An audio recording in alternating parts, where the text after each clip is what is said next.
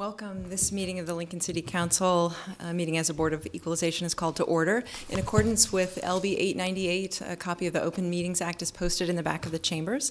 Let's all rise for the Pledge of Allegiance, followed by a moment of silent med- meditation. I pledge allegiance to the flag of the United States of America and to the republic for which it stands, one nation, under God, indivisible, with liberty and justice for all.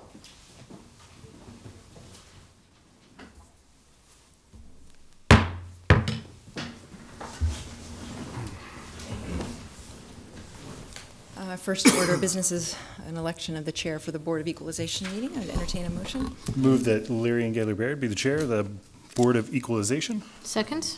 Okay, moved by Trent and seconded by Roy. Uh, Please call the roll.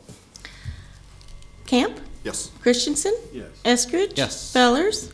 Yes. Gaylor Baird? Yes. Lamb? Yes. Raybould? Yes. Motion carried, seven to zero. Next, I'll read the items into the record. They are the College View Maintenance Business Improvement District, generally extending from South 48th Street between Calvert, Calvert Street and Pioneers Boulevard. Havelock Street Maintenance Business Improvement District, generally extending from Havelock Avenue from Cornhusker Highway on the west to 64th Street on the east.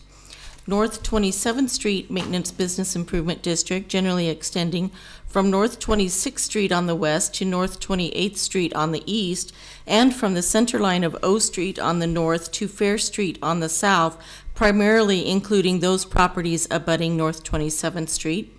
South Street Maintenance Business Improvement District, generally extending from South Street from the alley west of 9th Street east to 19th Street. University Place Maintenance Business Improvement District, generally extending along North 48th Street from Colby Street on the south to the half block north of Adam Street on the north and along St. Paul Avenue from North 47th Street to North 50th Street, and the West O Street Maintenance Business Improvement District, generally along West O Street from Third Street on the east to Homestead Expressway on the west, and including the property abutting the north and south sides of said West O Street right-of-way. And just to clarify, a little context, each year the Lincoln City Council passes a number of improvement district ordinances, and today we are here as the Board of Equalization to equalize the assessments for several such districts as read by the clerk. The land described in each district is benefited by the improvements in the particular district, and the cost of these districts is then paid by the city through its special assessment revolving fund. It is then necessary for the city to recoup its costs from the benefited property owners and reimburse its revolving fund.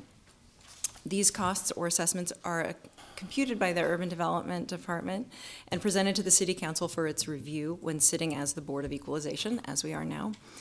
Uh, After, uh, we'd like to bring up a representative from the Urban Development Department um, to make a brief statement about each of the districts, and then following that, anyone who wishes to testify may please come forward and just sign in after giving your testimony, please.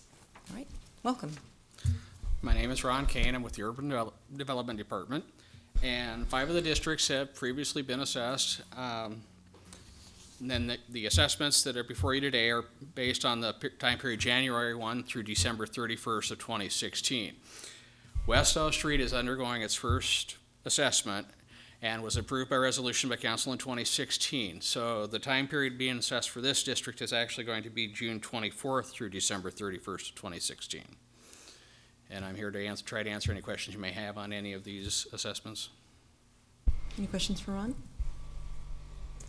All right, thank you very much. Would anyone else like to come forward and testify on these items?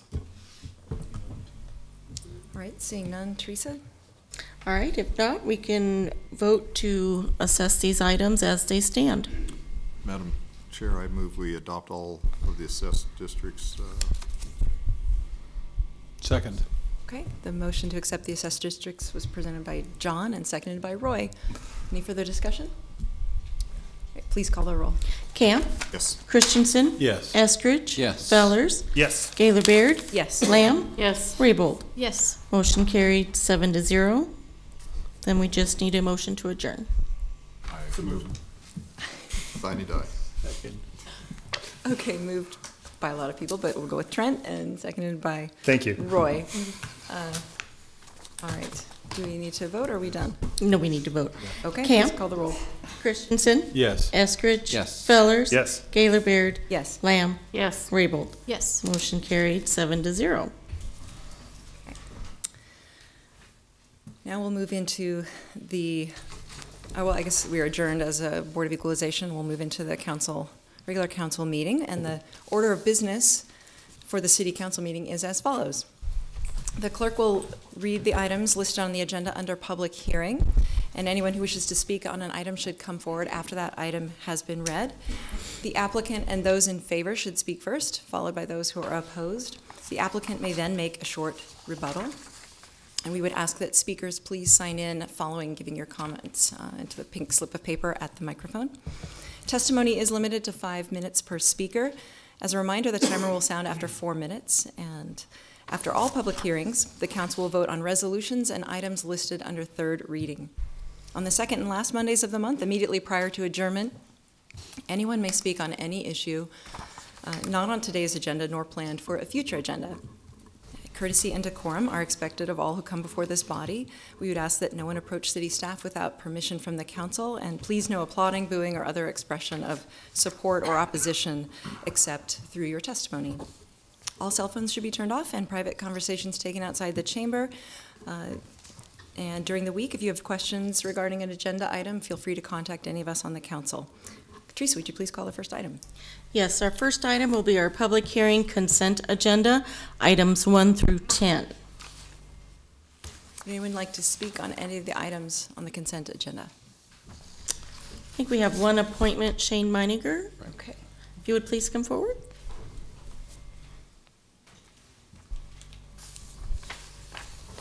Hello, I'm Shane Meininger. And State your address, please, for the Uh, record. The address that they have listed is actually not what my current address is. It's 4201 West A is my old address. And do I need to report my new Give address? us your current one for the Yes. record. We'll Yep. get that fixed. It's Thank you. It's 6300 Southwest 91st Street, Denton, 68339. Well, thank you for coming down. Why don't you tell us a little bit about your interest in this particular um, Um, board? I've been, Sprinkler and Chemical Examining Board. I've had a fire sprinkler company in Lincoln since 2005, and they've asked me to be on the board before, but there was somebody else on it, and then they called me here recently and asked me to be on the board now, and so I told them I would do it. Thank you very much for your willingness to serve. Any questions from the council? All right. Okay. Thank you for coming down Thank you. today. Thank you. Would anyone else like to speak to this item? Okay. uh, Teresa, please All right, take us through. if not, we can vote on these items. Items one and two were introduced by Eskridge. So moved. Second. Seconded by Roy. Discussion? Please call the roll. Fellers, Yes. Gaylor Baird, Yes. Lamb, Yes. Raybould, Yes. Camp, Yes. Christensen. Yes. Eskridge. Yes. Motion carried, seven to zero. Then items three, four, and seven and eight were introduced by Fellers. So moved. Second? Seconded by Jane. Discussion? Please call the roll. Fellers, Yes. Gaylor Baird, Yes. Lamb, Yes. Raybould, Yes. Camp, Yes. Christensen, Yes. Eskridge. Yes. Motion carried, seven to zero.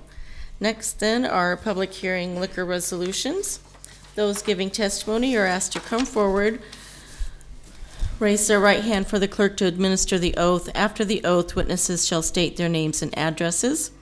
I will call items 11 and 12 together. They're the application of Bread and Cup for a Class C liquor license at 440 North 8th Street, as well as the related manager application of Kevin Shin.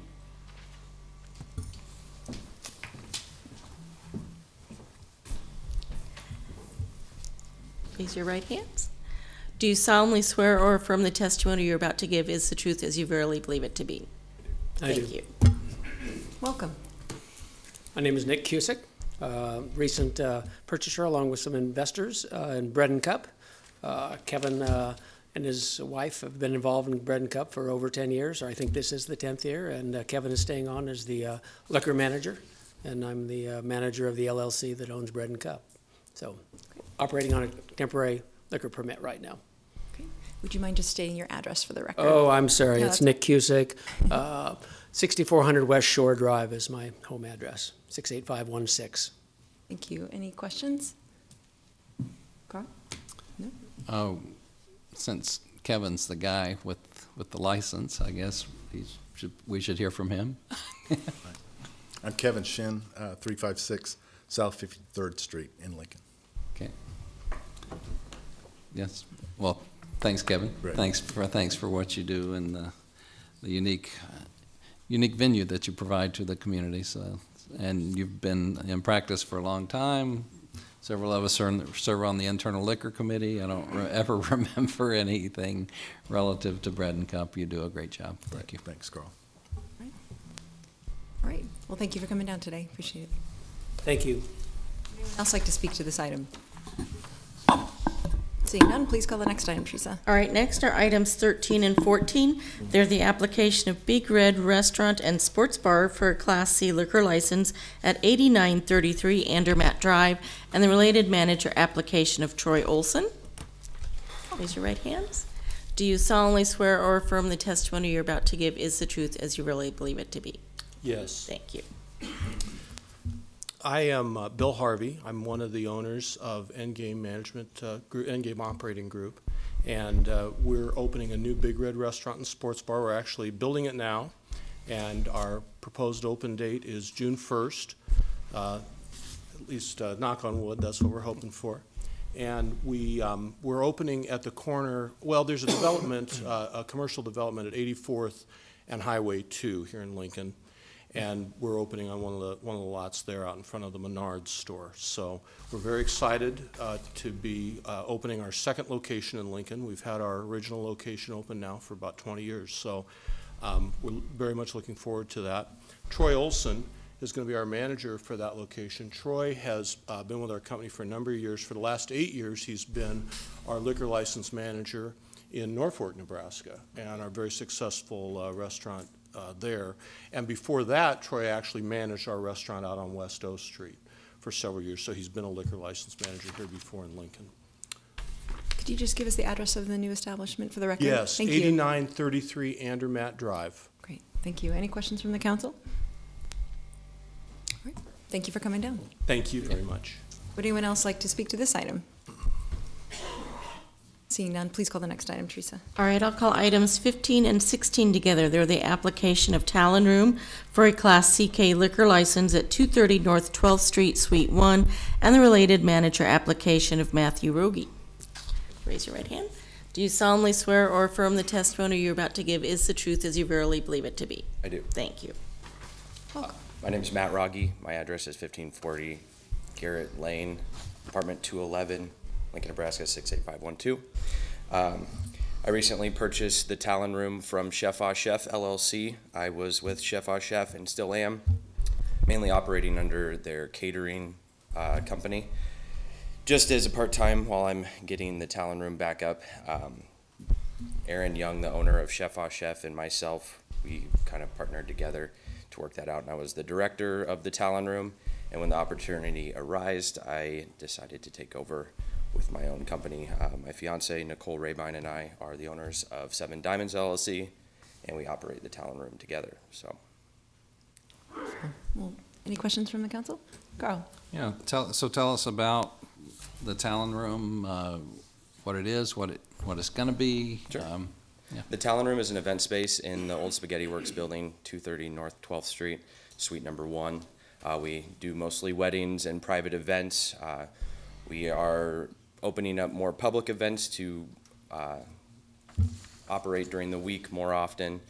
And um, we are also looking to do off-site uh, beverage catering as well. So uh, that's our main operation. Great. Well, thank you very much for coming down. Thank you. Wish you the best of luck. Would anyone else like to speak to this item? Please call the next time, Teresa. All right, next are items 17 and 18, application of Fat Jack's Barbecue for a Class IK liquor license at 101 Southwest 14th Street, and the related manager application of Jacqueline Burt. Raise your right hand. Do you solemnly swear or affirm the testimony you're about to give is the truth as you really believe it to be? Yes. Thank you. Hi, I'm Jacqueline Burt. I am a member owner of Fat Jack's Barbecue. Um, address is 6232 Northwest 5th Street, 682, or 68521. Okay. And would you like to tell us a little more about the? Um... Sure. We have been in business for nine years as a restaurant. Um, currently moved to our new location on West O two months ago, um, where we will have a location large enough that we would like to serve beer because it goes great with barbecue. Okay. Any questions, Cyndi? Hi, thanks for being here today. So I appreciate the fact that you are working uh, with Companion Link to put some folks to work out there at Fat Jack's, and I've heard great things. Is it going well? Very well. We have Good. been very blessed. They are great team members, and um, I can't imagine it worked out better beyond our expectations. Good to know. Thank you so much. All right, thank you so much for coming down. Thank you. Would anyone else like to speak to this item? All right, please call the next item, Teresa. All right, next is item 19, manager application of Peter Clark for Marketplace IGA at 4646 West Huntington Avenue. Hello. Would you raise your right hand? Do you solemnly swear or affirm the testimony you're about to give is the truth as you verily believe it to be? I do. Thank you. Uh, my name is Peter Clark. I live at uh, 940 Pine Ridge Road, Crete, Nebraska, 68333. And I've owned the grocery store out in Air Park for 10 years, and I'm applying to be the manager out there. Any questions? Well, thank you for coming down. Would anyone else like to testify on these items, this item? Seeing none, please call the next item, Teresa. All right, next is item 20, manager application of Robert Miller for Huskerville Pub and Pizza at 2805 Northwest 48th Street.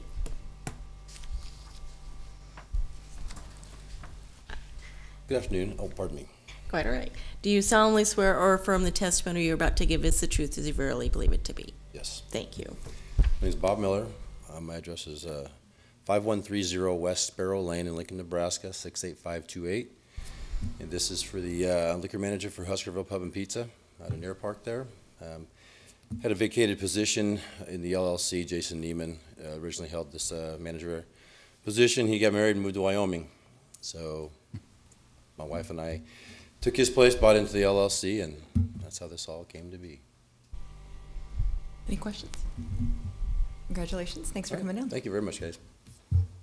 Would anyone else like to testify on these items? All right, Please call the next item.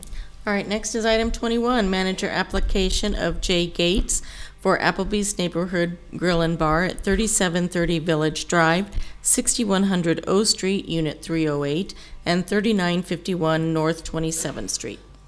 Would you raise your right hand? Do you solemnly swear or affirm the testimony you're about to give is the truth as you really believe it to be? I do. Thank you.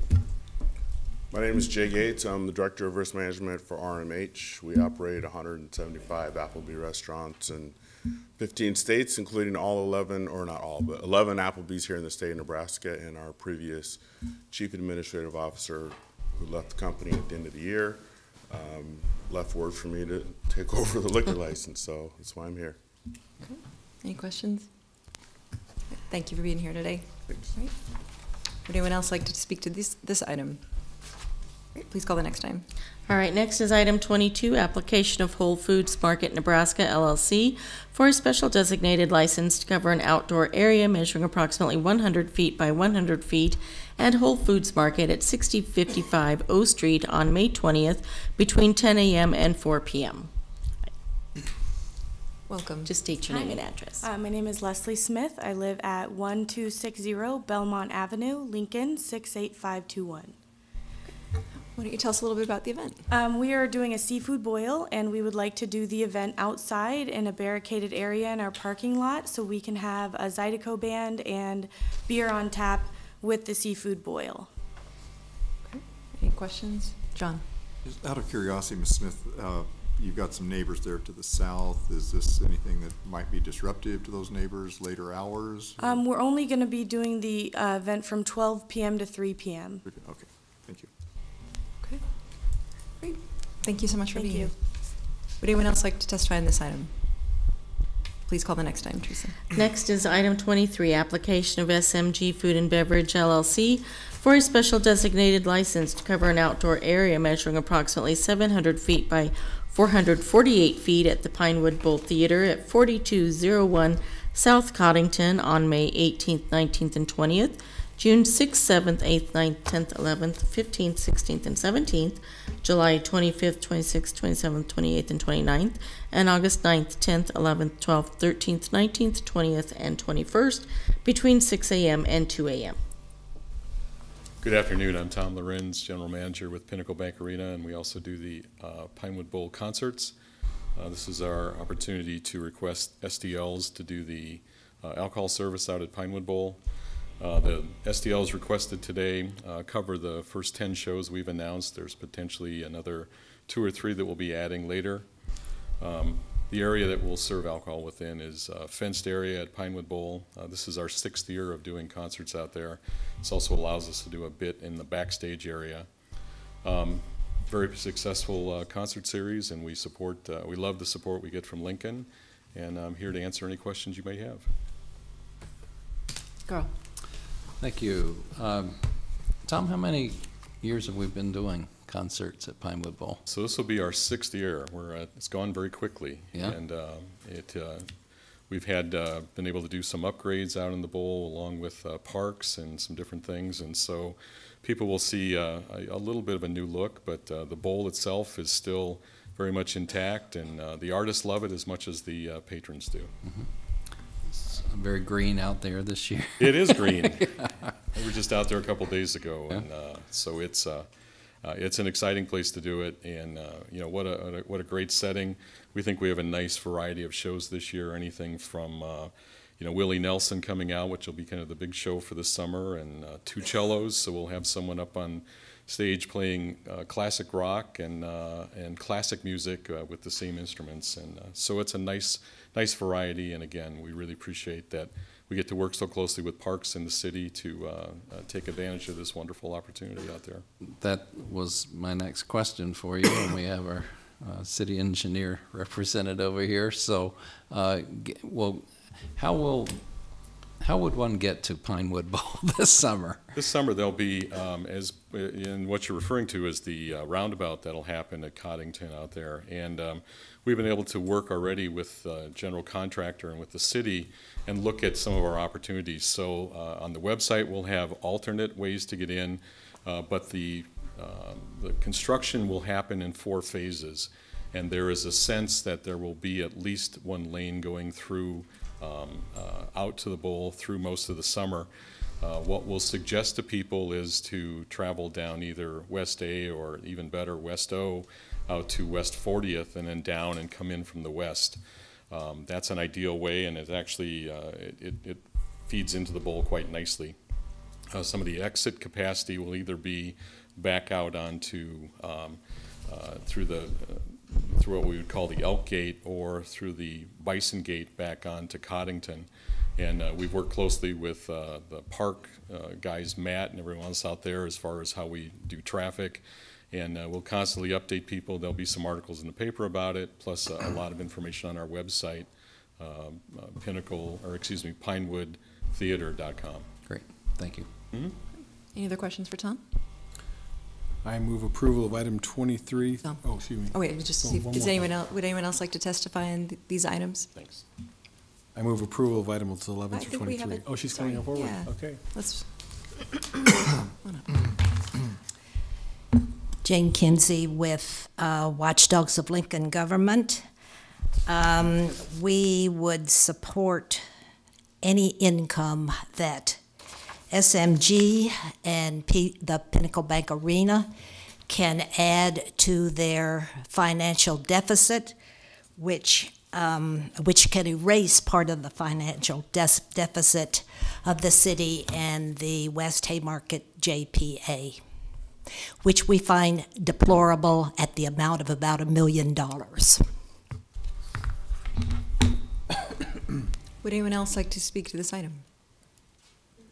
All right. Now, I will move approval of items 11 through 23. Second. Moved by Roy and second by Trent. Discussion? Please call the roll. Fellers?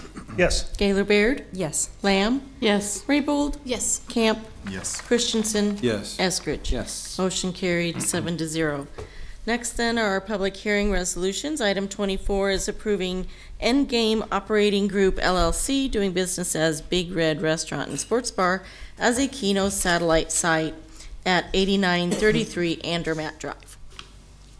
Bill Harvey, uh, and our location address is 8933 Andermatt Drive, and we um, are here uh, with a Keno satellite application. So basically, this location will be a satellite location of our other location on West O Street. The numbers will be drawn on- on West O Street, and just like with any other satellite in Lincoln, will be transmitted to this location.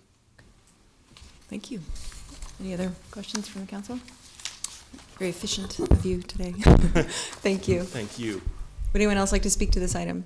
All right, please call the next item, Teresa. All right, next is item 25, accepting the report of new and pending claims against the city and approving disposition of claims set forth for the period of April 1st through the 15th, 2017. Would anyone like to come forward to speak to a claim? All right, please call the next item, Teresa. All right, next then is item 26, approving an interlocal agreement between the city and Lancaster County on behalf of Lancaster County Corrections Community Service Program to conduct roadside litter pickup along county roads by inmates and to provide supervision of the inmates for a term of May 1st, 2017 through December 31st, 2017. Hi, Judy Halstead, Lincoln Lancaster County Health Department. Um, here to bring the city-county interlocal agreement to you. Um, this is one, uh, as according to my records, I think it's the 13th year that we have utilized the um, litter reduction recycling grant funds to uh, award $5,000 to Lancaster County Corrections. Um, many of you will remember these are individuals who are in county corrections for um, short periods of time. They have to earn the privilege to be participating in the roadside cleanup. Uh, generally, they're there for um, crimes such as writing bad checks or not paying child support, um, but they are supervised. And what our grant funds go towards is um, helping to offset some of the cost of the supervision of the inmates out doing this work. And um, they typically have been the group that has done more than any other, uh, and they continue to be great partners with us in this effort. And so we appreciate that. We don't have a lot of, of groups that often do the county roads, and they take care of some of the county roads for us. Be happy to answer any questions that you have. Cyndi. Um, can you tell me the source of the grant funds? Sure, it's the Nebraska, it's Nebraska Department of uh, Environmental Quality's Litter Reduction and Recycling Funds. Thank you. Mhm. Any other questions for Judy? Thank you. Would anyone else like to speak to this item? All right, seeing none, please call the next item. All right, next is item 27, approving an interlocal agreement between the city and the UNL Board of Regents to provide, maintain, and update online food handler training programs as federal, state, and local laws, regulations, and guidelines change. Thank you. Again, Judy Halstead, Lincoln Lancaster County Health Department. Um, a few weeks ago, Scott Holmes brought an interlocal agreement to you between the city and UNL to do the actual hosting site for our online food handler and our responsible um, beverage server uh, permits. And so this is actually for us to contract with them for the content changes. So as we've made changes to the content of the training, either city law has changed or um, a regulation or standard has changed in the food handler industry, we have um, we are under contract with them to actually make those online changes for us. So again, they've been a wonderful partner with us since we went online. I believe it was in 2009, and they continue to update that for us regularly through these funds. It is a two-year agreement, um, and uh, with an opportunity to extend that if both parties agree. Cyndi. Thank you. First, I want to thank you for your uh, making yourself available when I was looking for this particular site for someone. No so I problem. appreciate that very much. Um, and as I understand it, the whole project is funded by the user fees. It is. That is correct. Okay, so there's no cost to the city. That is correct. Thank you. Okay. Thank you. Thank you. Would anyone else like to speak to this item? Well, don't go away too quickly, Judy, because we just want to recognize you in your service. This is your last time testifying before us in your current capacity as health director for the city and county, and we're we're going to miss you. Um, you've had such impeccable work uh, and done so much to promote and protect the health of Lincoln and Lancaster County, and Uh, we're very sorry to see you go. Feel free to come back and testify on things and heckle us as a citizen. I'll be here for Um, open mic now. Yeah. Me too. Yeah. I just Join want- Trent. I just want to thank each of you because each of you have been very supportive of the health department and the work that we have done. Um, and, and I really appreciate each one of you for your individual support to me and to the department because um, all of you have helped to make us a better department. Uh, we hope that we have represented you well in your policies, and I just want to be able to thank you for your service as well. Thank you. Thank you. Thank you. All right. I think that takes us to the end of the public hearing for resolutions. Teresa? All right, next are our public hearing ordinances, second reading and related resolutions. Item 28 is amending Title II of the Lincoln Municipal Code relating to establishing an appropriate funding level for the city's police and fire pension plans. Good afternoon, Council. Doug McDaniel, Human Resources, and with me is Paul Lutomsky, Pension Officer for the Police and Fire Pension. Uh, This uh, ordinance change uh, that we're proposing uh, updates the funding policy for the police and fire pension. Uh, We've given you some information uh, in pre-council last week, uh, reminding you that this comes from a recommendation from the Citizens Pension Review Committee that was uh, held last year, and we bring this forward now. Paul Lutomsky will give you uh, briefly some of the historical information and some of the detail that comes up to this point. Paul? Teresa, you can hand that out to council. Sure can.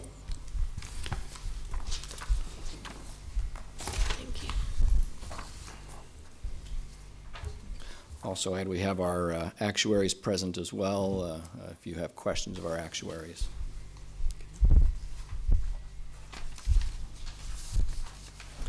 City clerk is handing out, oh, oh, my name is Paul Lutomsky, I'm the City of Lincoln Police and Fire Pension Officer.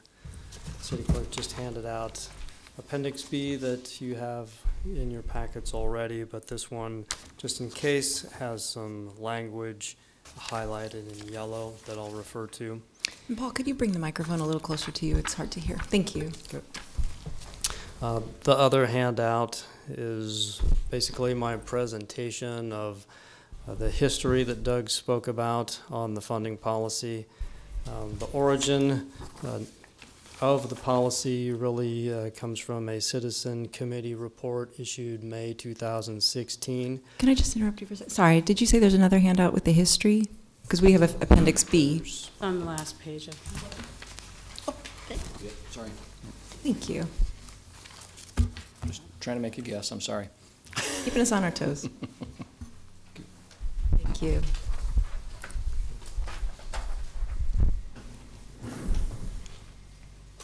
I'll take both to give both.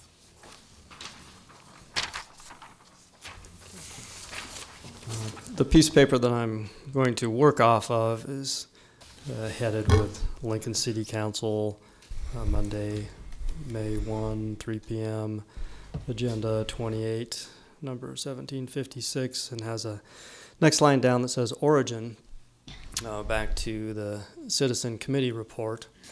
Uh, that was, Citizen Committee began in fall of 2015. They uh, did a comprehensive review of the pension plan, issued their report in May 2016, and their recommendation number two is listed below, which regards the funding policy that we're uh, looking at today. It says uh, the city should establish a funding policy that follows objectives and recommendations consistent with the Government Finance Officers Association and the actuarial community. Funding should be at the greater of the ARC, which is an acronym that stands for Actuarially Recommended Contribution, or normal cost. Normal cost is a term that is used uh, to represent the cost of the pension plan for the coming year, assuming that uh, everything goes according to plan. Um, continues, says the policy should include amortization periods for future unfunded liabilities that do not exceed 20 years. So as a result of that, the city worked with the plan's actuarial consulting firm, which is Cavanaugh Macdonald, and they um, report to the council every year with their annual report. Uh, we worked with them to develop a funding policy that met the city's objectives. Uh, so this isn't a policy that they developed in a vacuum. This policy was uh, developed in conjunction with them and the city to meet the city's objectives. Uh, just as by way of their credentials, Cavanaugh is the actuarial consultant also for the City of Omaha civilian uh, and the police and fire pension plans, and they are the consultant for all of the state of Nebraska defined benefit plans. Uh, policy before you is a best practice document that takes into consideration advice on pension fund funding uh, from the Conference of Consulting Actuaries, their industry standards, uh, and the Government Finance Officers Association. So some acronyms that will occur that I want to get out of the way first. Um, there's something called UAL, which you've heard before, or UAAL. Uh, both of these things refer to the unfunded accrued liability. And just as a, a refresher, uh, that is about a $50 million uh, un unfunded accrued liability. The plan is 80% funded right now. The other acronym is uh, kind of a the ARC, the ARC that was referred to by the Citizen Committee. Uh, that terminology uh, has since then been replaced by basically something that means the same thing, uh, but they're calling it ADEC for actuarially determined employer contribution, more of a generic term rather than a basically the ARC was a GASB derived term, Government Accounting Standards Board, so they updated their terms there. So the funding policy uh, is the first handout that, that was given to you, and it's three pages long. Um, it, but before I get into this, I, I kind of like to say it's really kind of in three sections. Uh, we're 80% funded right now as a pension plan. So between 80% and 100% is section one. Between 100% or 100% uh, and 110% is section two. And then everything at 100% and 10% or above, I'm going to kind of segment into the third section on how things are funded. So regarding that first piece, uh, let's refer to the bottom of Appendix B, page one. There's some language that's highlighted in yellow there. This describes what happens when the pension is less than 100% funded. In other words, right now. The language says the actuarially determined employer contribution rate shall be the greater of the employer normal cost rate or the sum of the employer normal cost rate and the UAL contribution rate. That is kind of a more detailed, more descriptive way of saying what the um, citizen committee said in that the, they recommend the city should put in the greater of normal cost or the ARC, the, the ARC rate. So, so what that, what that language means is that from the current 80% until 100% funding level, the city contribution shall be the ADEC rate, what was formerly known as the ARC. Second phase of the funding policy uh, asks you to refer to, to uh, page three, second paragraph. And this is, describes what happens when 100% funding is attained. It says, uh, if the valuation, which is uh, terms for the actuary report, if the valuation shows a surplus, in other words, a funded ratio that's above 100%, uh, the prior amortization bases, all those unfunded amounts, those prior bases will be eliminated and one base equal to the surplus will be established. Uh, the amortization period of a surplus shall be a 20-year open period. So what we're doing there is saying that when we get at 100%, uh, the city contribution shall be normal cost only because there isn't an unfunded accrued liability anymore. Uh, that even though there is a surplus, because we're probably not going to be exactly 100%, um, that surplus isn't going to be used at that time to reduce the city's contribution. So at 100%, the city will contribute normal cost. It's only till we get to phase three that we, we look at reducing uh, normal cost a little bit less.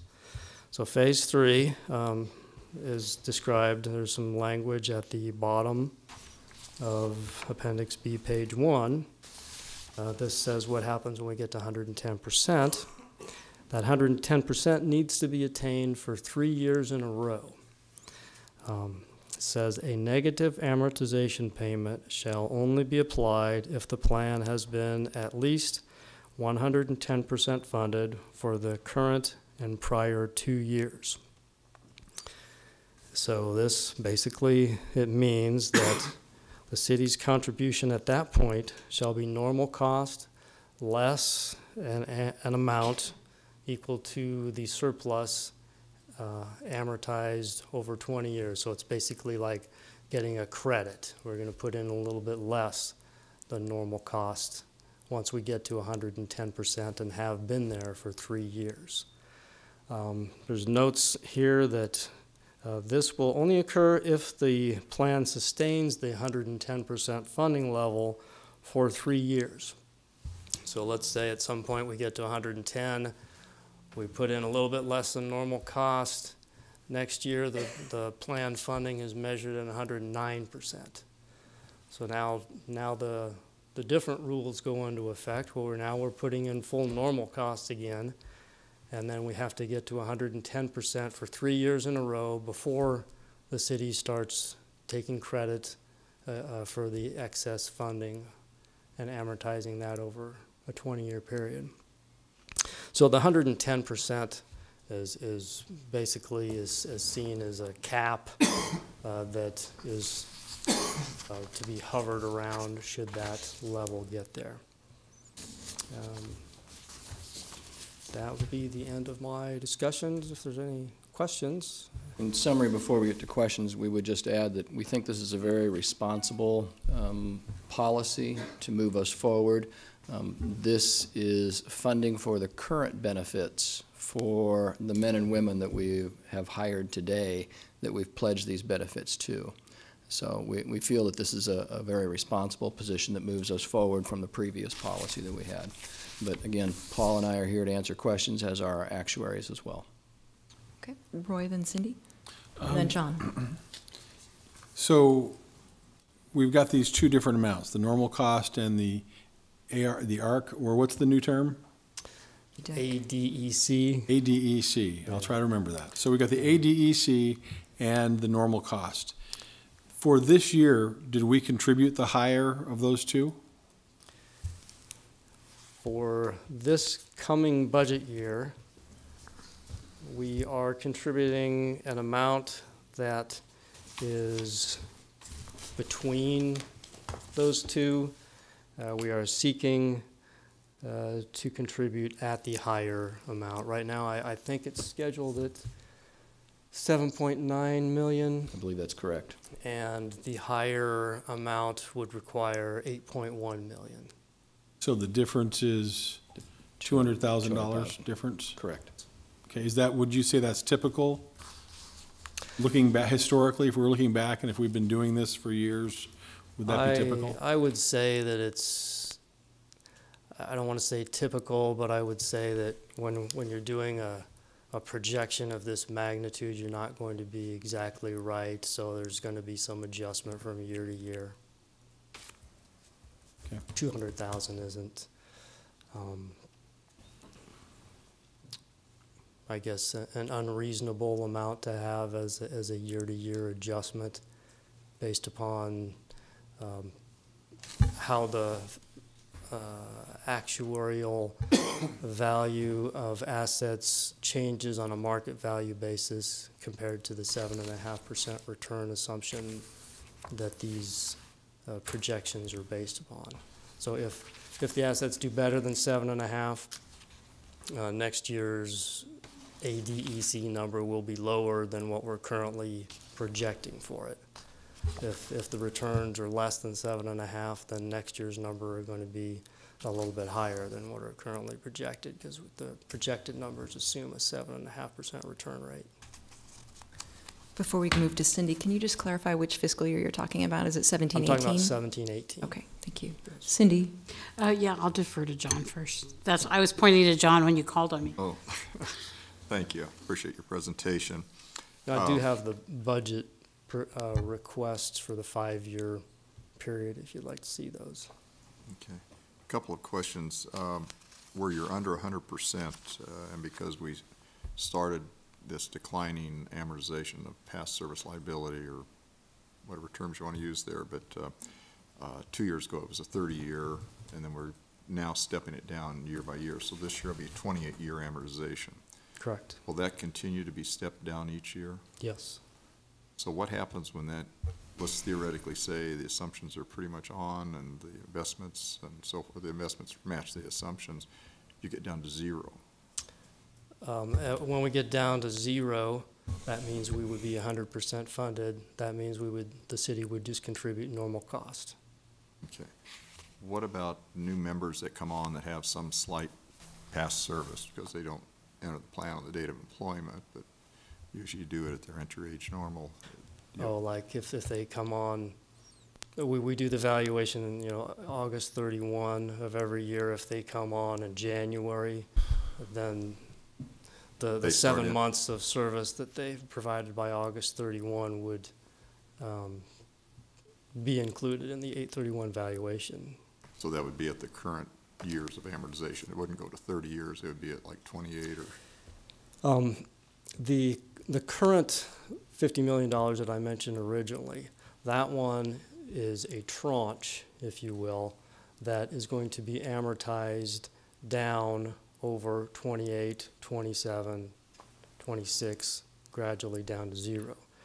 Any new year-to-year differences will be considered as their own individual yearly tranche. So with this policy, um, if there is a difference that occurs in fiscal years 16, 17 from what was expected, that year's difference, be it surplus or not, will be amortized over a separate 20-year tranche. So we're going to have the, the original 50 million decreasing over the next 28 years, but then each subsequent year will have its own individual tranche, and those individual tranches will be amortized over a 20-year period. What's a synonym for tranche? And how do you spell tranche? I, I don't know. Uh, Just a, a, a, a bucket, an accounting bucket, a year's worth of Segment. experience. Pardon me? Segment. Segment. Segment, okay, I just want to make sure we and our listeners, viewers are on the same wavelength. Um, We Walk-in did food the, we had a change this year with the, um, what had been that uh, thirteenth check pool, and that had had Correct. twenty-five, twenty-six million dollars. We took the constraints off of it, and that's what allowed us to go from a hundred-plus million deficit or unfunded liability to about, I think it's really fifty-four million. Oh, yes, you're right. Yeah. So fifty-four million. Uh, but we still maintain that we're going to pay those thirteenth checks under that formula. Yes. What does that do to the funding? Um, Well, it did a couple things. Um, th- There was approximately $27 million in the separate 13th check pool. That 27 million was added to the base benefits. Um, The amount of liability, as you said, to make the future 13th check payments uh, was, did not eat up the entire 27 million. It was approximately half of that amount. So one thing it did was add to the funding, the positive funding of the pension by the tune of about $13 million. The second thing it did was to eliminate the practice of having to contribute new money when the, when the market values returns were above seven and a half percent to the 13th check fund. So uh, you'll probably remember we were able to revert back to the seven and a half percent return rate that was used before uh, the adjustment was made to accommodate for the, the skimming or the sharing money into the 13 check fund. And that, that reversion from 6.75% as an assumed rate to 7.5% as an assumed rate for the entire pension plan, plan assets.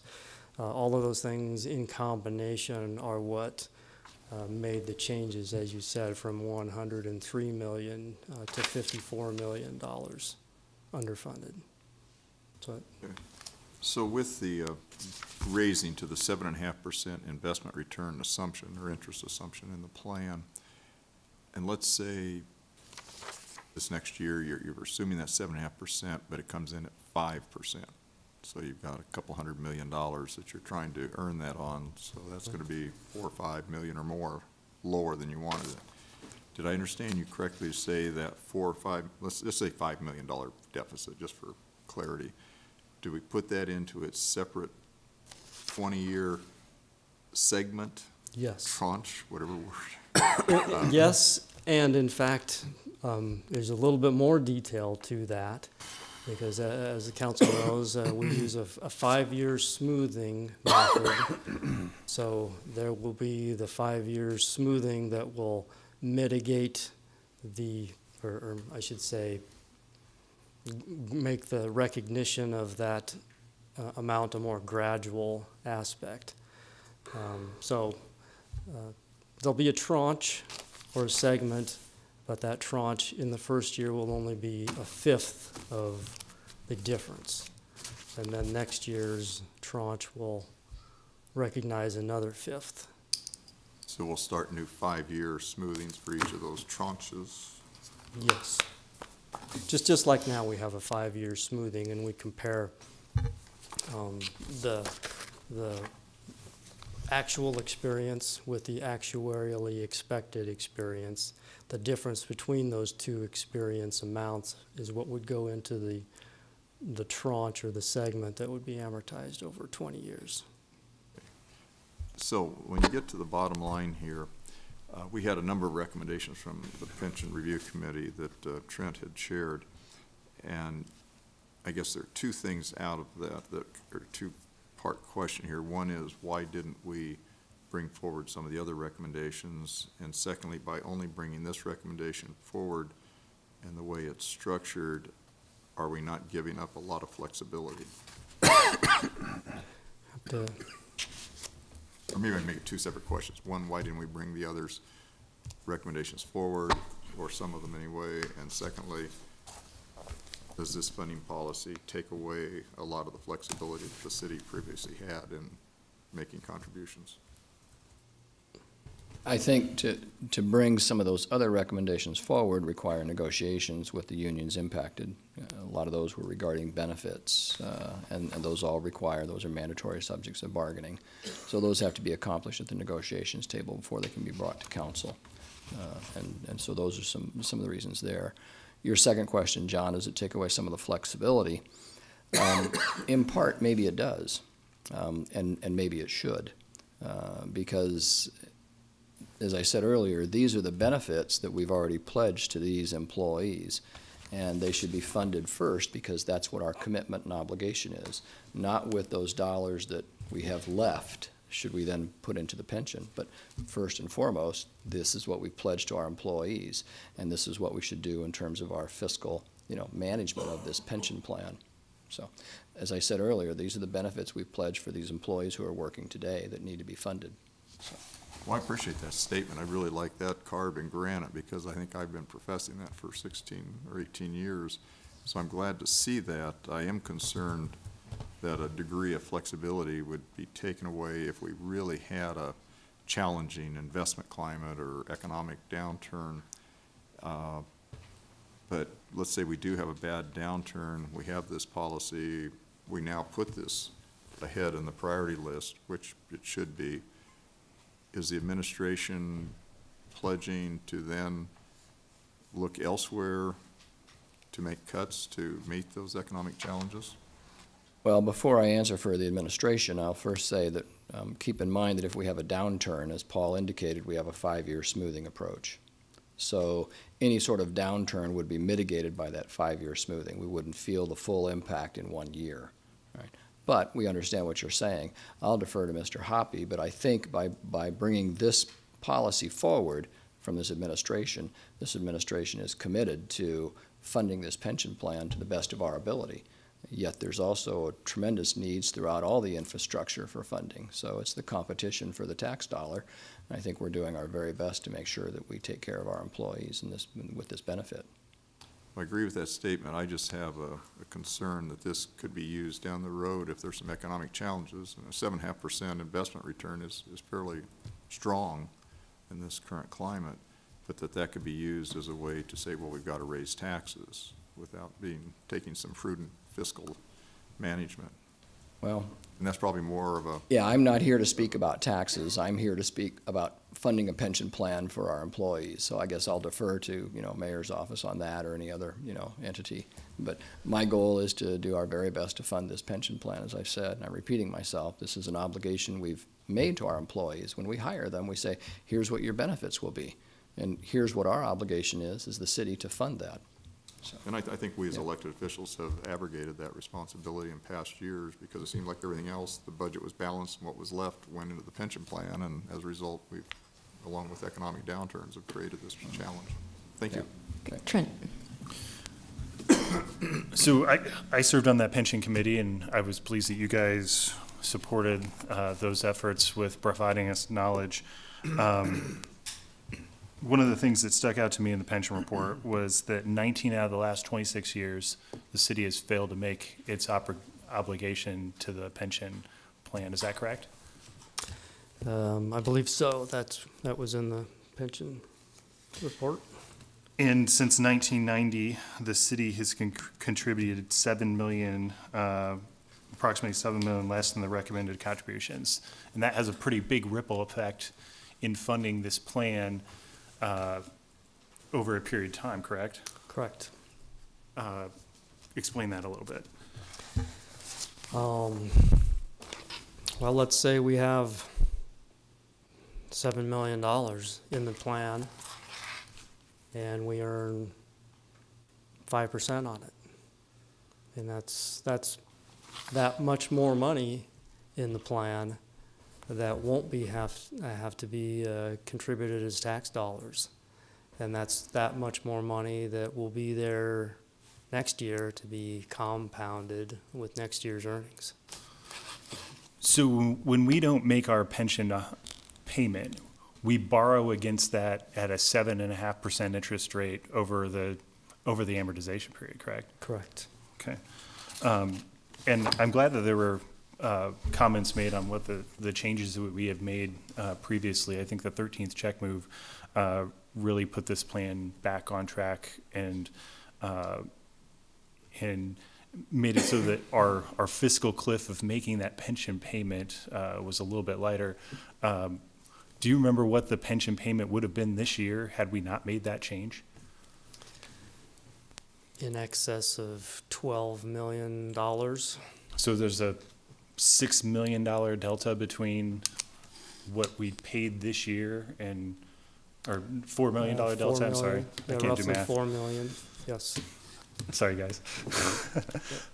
Um, and these really are the only two changes right now that we could make legislatively, other than going and negotiating with our public safety unions.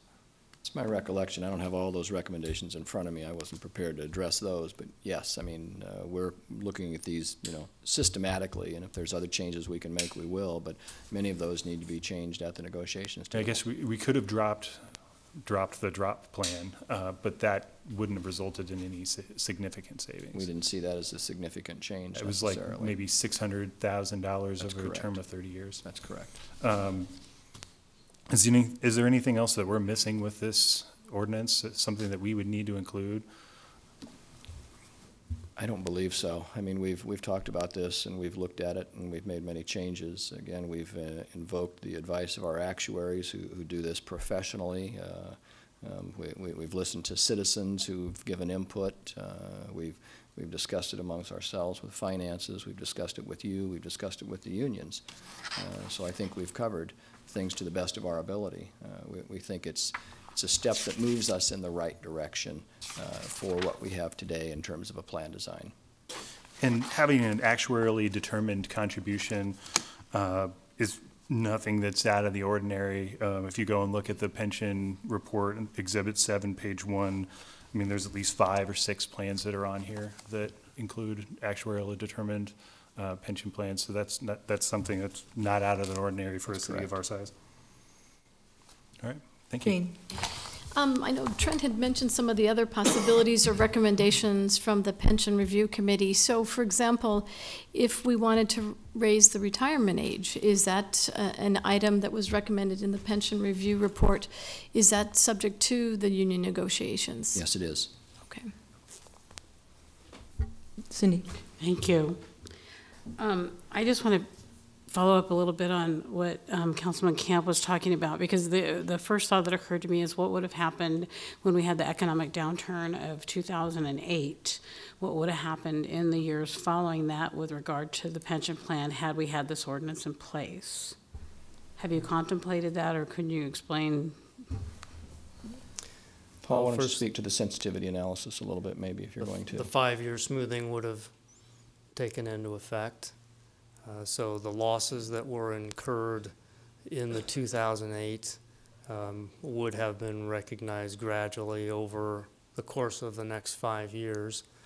Um, If this plan were to have been in effect at that time, um, every year when 20% of those losses were recognized, they would have been then put on an amortization schedule to be paid off over the coming 20 years.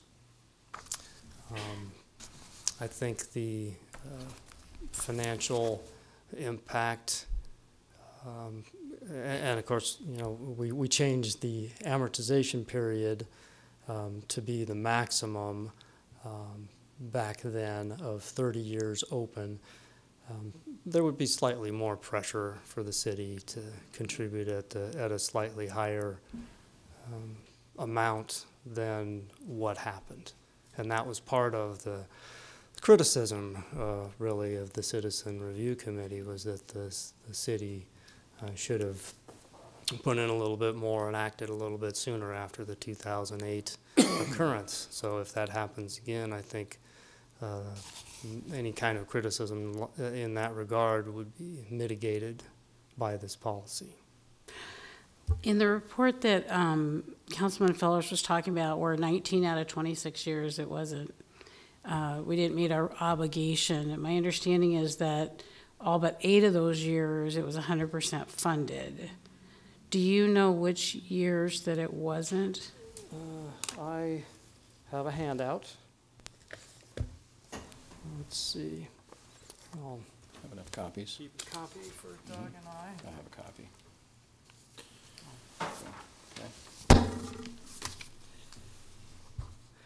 Um, wh- What's being distributed now is a a handout with valuation data of a detailed nature from 1991 up through 2016. I'm sorry?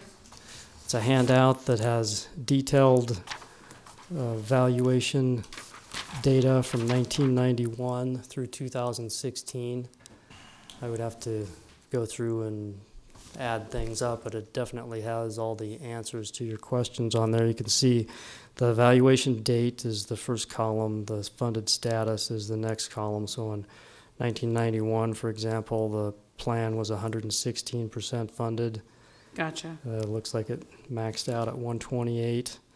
There's a, a liability amount, a asset amount, and the next column is an unfunded amount. Um, assumed rate of return, market rate. The last two columns, I think, speak to what your question is in in terms of the employer contributions that are uh, actuarially recommended versus the money that was actually contributed. Okay, and then it looks like from this, I'm looking at the left-hand column, the valuation dates, um, August 31st, always the end of the fiscal, and it looks like it was pretty, pretty much 95 to 100% up until 2010? Well, and that's, that's the five-year smoothing kicking in. Right. Um, And yeah. so is, does, do these figures, would I be right that these, the figures, uh, 2009 or 2010, um, right through 2016, in fact, these, or at least those first years, are what would hap, would answer my question of what would have happened if this were in place in 2000, uh, and when we saw the economic downturn of 2018. Well, then you'd have to compare. Um, it's it's it's kind of like actually comparing apples to oranges because this the the the way that the actuarial employer contributions were calculated on this piece of paper are not uh, one as strong as what this funding policy would say should be calculated. Um, in 2008, as we discussed, the amortization period was changed to 30 years and it was a 30 year open period until 2016. So the numbers that you're seeing here, uh, they, we, we take the, the unfunded accrued liability and amortize them over 30 years. And then next year we, we start over again at 30 years and again until we get to 2016. And then we decided we needed to take more affirmative action on this. So, so this, this gives you a, a guideline, but I, I think I would have to defer and, and say that if you really want um, a, an accurate uh, depiction of what the funding pressures would have been as of some date forward under the new policy, I think we'd have to do a study and give you It- that answer that way. Is it fair to say that the actuarial uh, recommendations that are listed in the next to last column would have been greater under this current policy that's I believe so. firmer? Yes. Yes. Okay. Yes. Um, and then I just had a couple just kind of uh, precise questions because that's what I do. So I'm looking at the um, ordinance and I'm looking at just some of the changes that are made. I'm on, um, I think, page one, yeah. Page one, line 15. And uh, clearly this was written some time ago and it talked about that the, um, the contribution would be placed in the pension fund no later than the end of the fiscal year in August 31st, 2012, which of course doesn't make sense for this. But I'm wondering, it just says now the end of the fiscal year. And so do we have a fiscal beginning? In other words, I kind of expect when I looked at it would say that, that by the end of each fiscal year, beginning fiscal year 2018 or something of that nature, or beginning in August 31st, 2018. So is there in, any beginning date? Did I just miss that, or is that, is that in here somewhere and I'm just not seeing it because I'm looking at this section? You didn't miss anything. Okay, And the 2012 data, I mean, that, that date is an old date, and that's why Sure. it was taken out. The idea is that by the end of the fiscal year, so if this passes, um, the end of the fiscal year that we're talking about will be the end of the August uh, 31st, this this current fiscal year. the end of 17, 18? Uh, Well, I believe it We're would in, be- well, well, we're now in 16, 17. Right.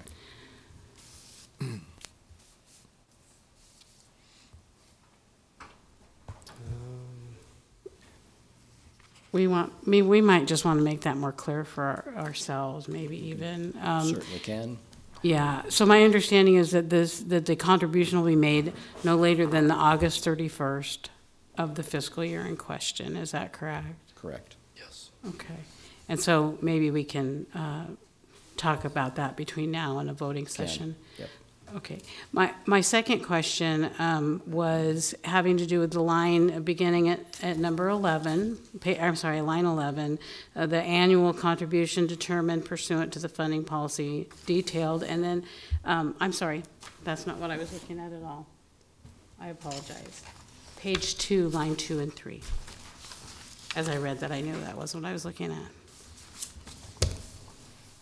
The page two, line two and three, it does change the language of what the computation shall be, and it says, um, instead of the table in nineteen seventy-one, it says, um, actuarial assumed earnings rate. Can you tell me what impact that difference has on the ordinance? This was changed because the funding policy and uh, as, as you experienced, some, some mortality tables uh, get reviewed when the pension plan works with its actuary and does an experience study once every five years. And the. So that was based on mortality tables Yeah, the, the 1971 table is outdated. Uh, we're currently using a, a year 2000 table. And then the, the assumed, the, the interest rate of 6%, that was eliminated to defer to the, the policy uh, 7.5%. Okay, and wasn't that changed at some point in the recent past? Yes, and we did an experience study, and I think that was two years ago. We did the experience study, or was it just last year? I've lost track of time, Paul. Um, But yes, the. There uh, were implications to the plan funding at that point. You are correct. Okay, and, and what, on what basis does that get changed? Uh, Once every five years, uh, we work with the actuary to do something called an experience study, where they compare our actual experience to the assumptions that they have in place. And they say, well, okay, well, this assumption is correct, maybe this one needs to be updated. And one of the things that was updated in the 2014 experience study was the mortality table. It was actually changed, I believe. Well, I've got it, I've listed here. Um, before it was uh, this, uh, okay, and until uh, the, the 1971 group mortality table became effective August 31st.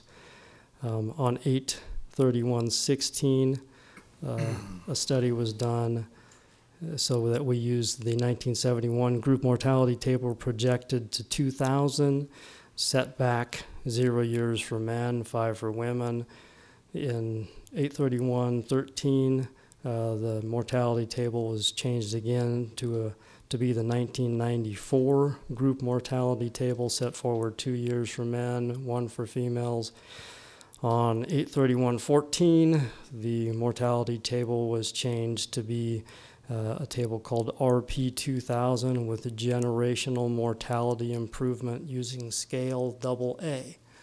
So you can see by having it written in the ordinance is, is not uh, a good idea in terms of allowing the flexibility that's necessary to, to make changes to. So we're gonna go with a more current mortality table, whatever is the most current at any given time. Not, not actually, uh, sorry, but not, not the most current, um, but the most appropriate for use with our demographic. Okay. And then the assumed earnings, is, does this, does this body have the authority to change what we want to assume is earnings?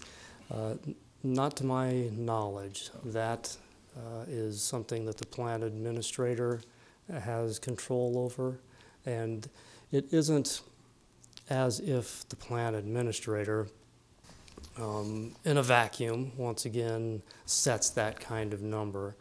Um, We work with a professional investment advisor who looks at our portfolio every year, and actually in May, they're going to do another evaluation, an asset allocation study, where they're going to, to evaluate, uh, kind of like the actuary, if, if the numbers are working out as we expected, and if not, perhaps make some changes, and then based upon uh, the asset allocation to equities and stocks and, and bonds and uh, our different asset classes and the probabilities of achieving X returns within those asset classes. Uh, they will uh, tell us what a reasonable 20 year long term uh, return expectation would be, and that's where the seven and a half comes from. And we look at that every year to, to see if that's valid or not. Thank you very much. Jane? Um, I just have a, a question for you on the, the recent handout. I quickly tallied up all the uh, funded status, the percentage that we're funding our obligation, and it seems like 19 out of the 26 years shows that we, the funding ratio was actually at 95% or higher. And then, so that means that seven of those years it was below 95%, um, with the lowest happening in 2015 at 64%. And that's when we made the decision to, to merge that 13th paycheck. So how do, how do we compare as a, a municipality to other, other jurisdictions in terms of the ratios that we have been funding historically since 1991? I, I don't know that I'm capable of answering that, Jane. You know, our actuaries might be, but again, if you're asking how we compare to funding status of other municipalities, um, you know, that would probably engage a a fairly lengthy study and, and such to say, how are they funded? I, I think we're going in the right direction. Uh, we're not where we'd like to be, uh, but you can say, well, Detroit is, you know, twenty percent, Omaha is maybe sixty or seventy percent, uh, after some changes and things like that. But our actuaries would have a more accurate count on that. But again, it's not necessarily apples to apples, because you're, may be talking school districts, you may be talking state, you may be talking different municipalities and such, and different plan designs. Um, We have to focus on what we're doing, and, you know, our goal is to be at one hundred percent or higher, you know, and, and moving forward. So, uh, I don't think any of us are necessarily pleased that for those five years, we were below hundred percent, but I think we want to take every step possible to move it higher. I, I think I could use our former colleague, Councilman Cook, who made this statement. Lincoln is bleeding, but not bleeding as much as other jurisdictions, and that'll save you a lot of fees. Well, I, I think actually that Omaha ha- is funded only at 52%. Yeah, I mean, I, And so I, I can't keep track of each municipality, to be honest, and I just want to make sure that we're doing everything we can with ours, so. and I would probably ask the, our actuaries that are here present, because, correct me if I'm wrong, Paul, you might be able to answer this, but certainly, um, when we get our AAA bond rating, I'm guessing that they may look at our pension liability and the unfunded liability and our funding ratios that we I currently don't- have. Don't guess. Oh, don't guess. Under the new They GASB look. rules, they absolutely do. Okay. It Under the new GASB rules, it absolutely impacts our balance sheet and our, and our bond rating, so. Carl. Thank you. Um, And thanks, Paul, for this last sheet that you handed out. Um, I'm not an actuarial, so I won't want to ask some questions here. I'm, I'm looking at the last column, the last two columns, uh, the employer contributions. And so the actuarial column, would that be what, what would be recommended that the city put in? Or uh, explain what that column means. Okay. The, the actuarial column is recommended. And in terms of timing is where things get,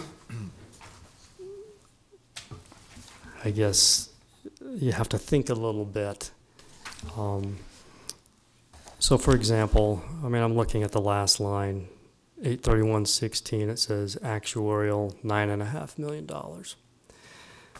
That nine and a half million dollars was, and, and perhaps maybe this is, uh, something that if I misspeak, Pat can, can help me out, but it's a number that was created, uh, on the eight thirty-one sixteen valuation date, uh, with the assumptions, uh, in effect at that time. So, I, I guess I'd have to, have to look at that. I don't know, Pat, can you help me out with this? Explaining the, the date question. I mean, what we're doing right now is using the eight sixteen valuation to set the seventeen, eighteen payroll numbers. Hate to put you on the spot That's like okay. this. What's the question? Can you explain the, the source of these numbers and how they're used? Is the question. Could you just mention your name and address, please? Thank you. Certainly. Uh, Patrice Beckham, Cavanaugh Macdonald, uh, 3906 Raynor Parkway, Bellevue, Nebraska, uh, actuary for the, the city. Um, the actuarial contribution rate is, in fact, the probably what you're used to hearing as the recommended contribution. It's, it's essentially based on the funding policy that was in place at that point in time.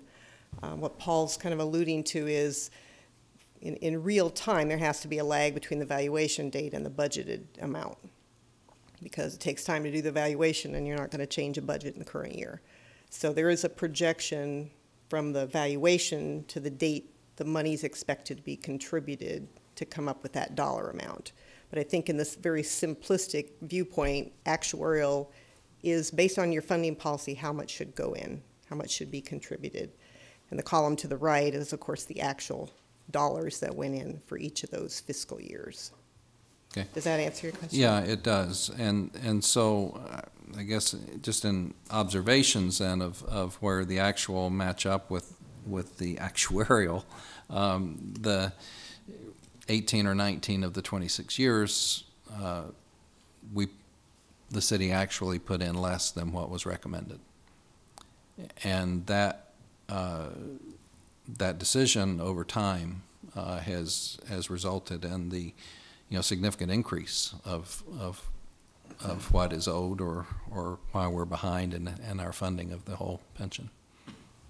Um, certainly to the extent contributions have not gone in, the funding of the system is affected.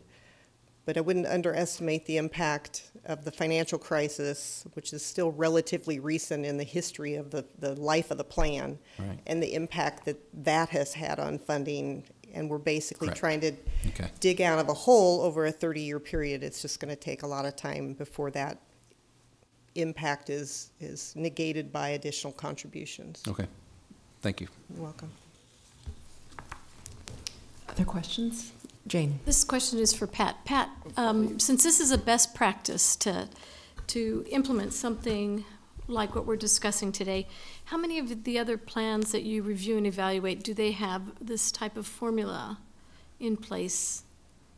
All of them, or most of them, some of them, one of them? Um, most plans have a formal funding policy.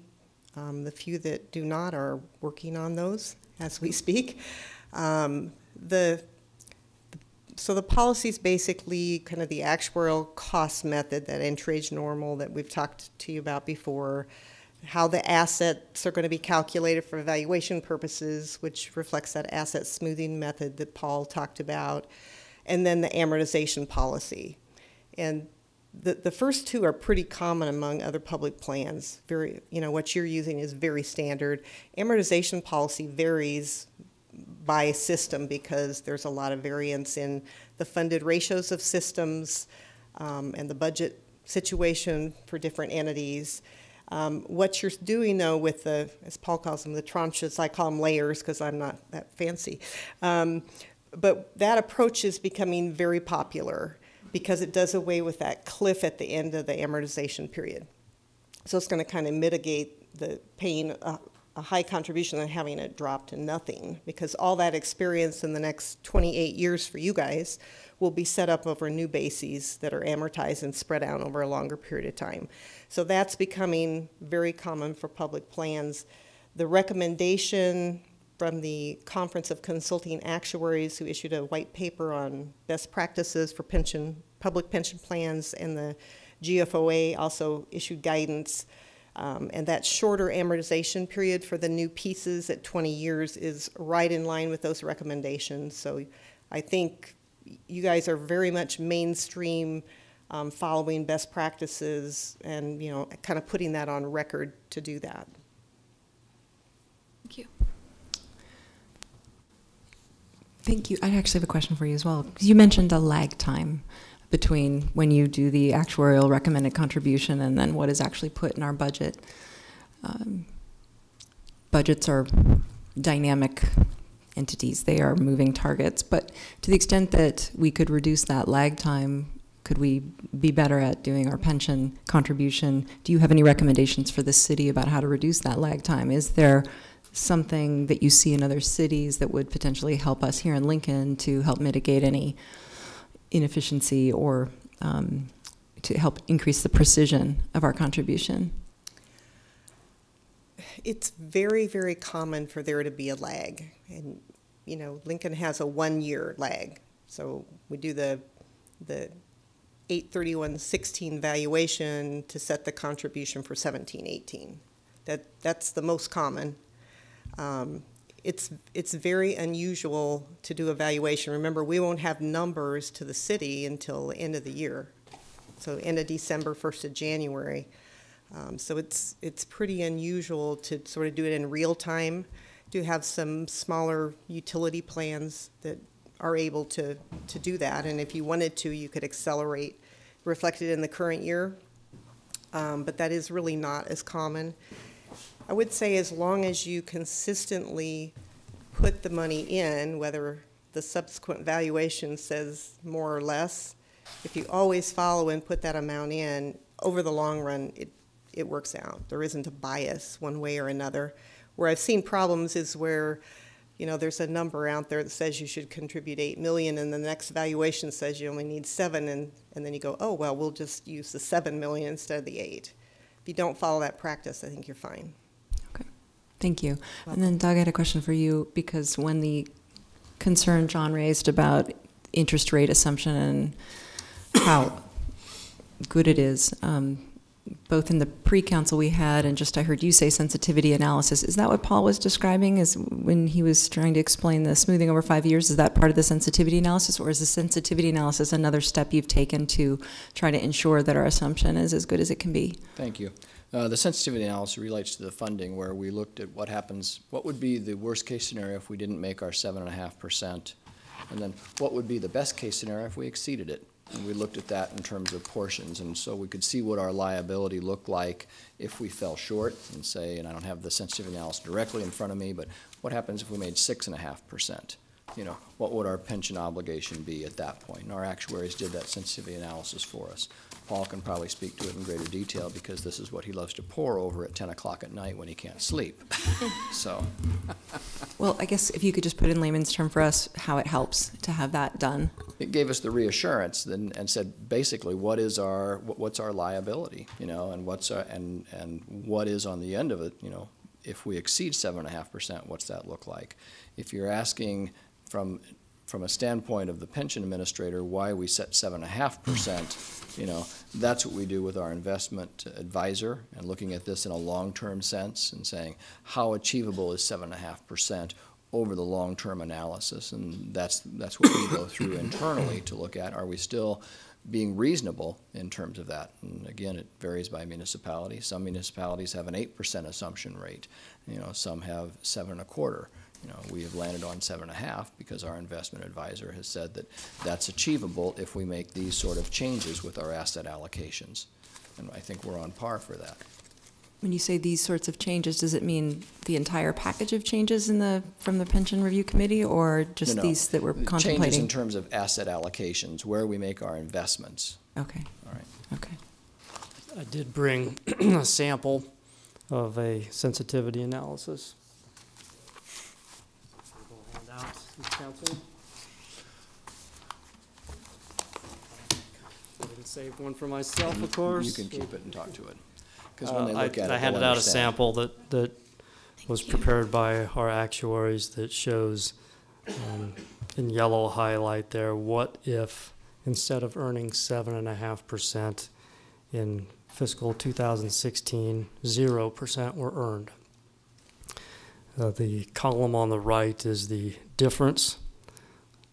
So this is an illustration of if we don't earn anything this fiscal year, how the demands would increase over the 25 years because we take the, the money and spread it over a five year smoothing period and then amortize each of those over a 20 year period.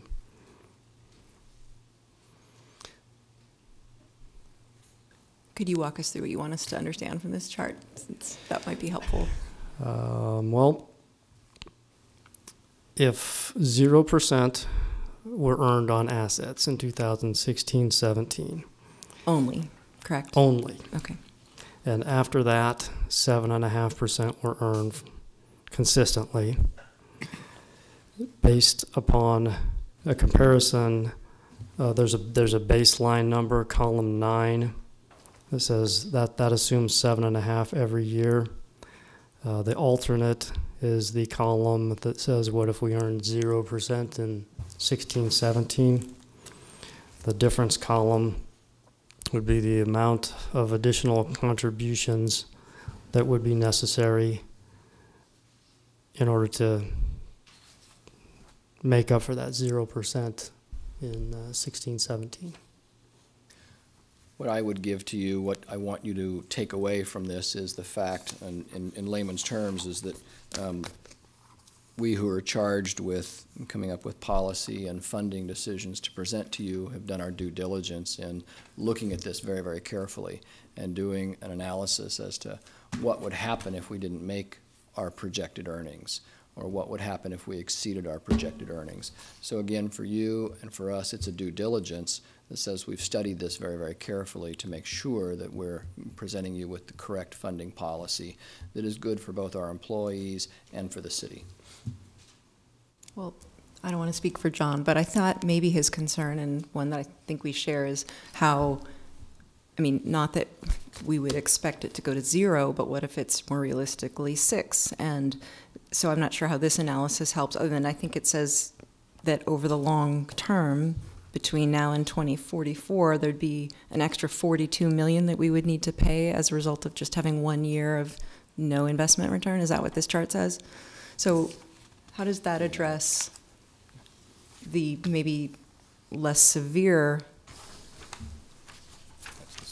change that, I mean, Th- This is a, How s- does this this is a scalable number, as I understand it.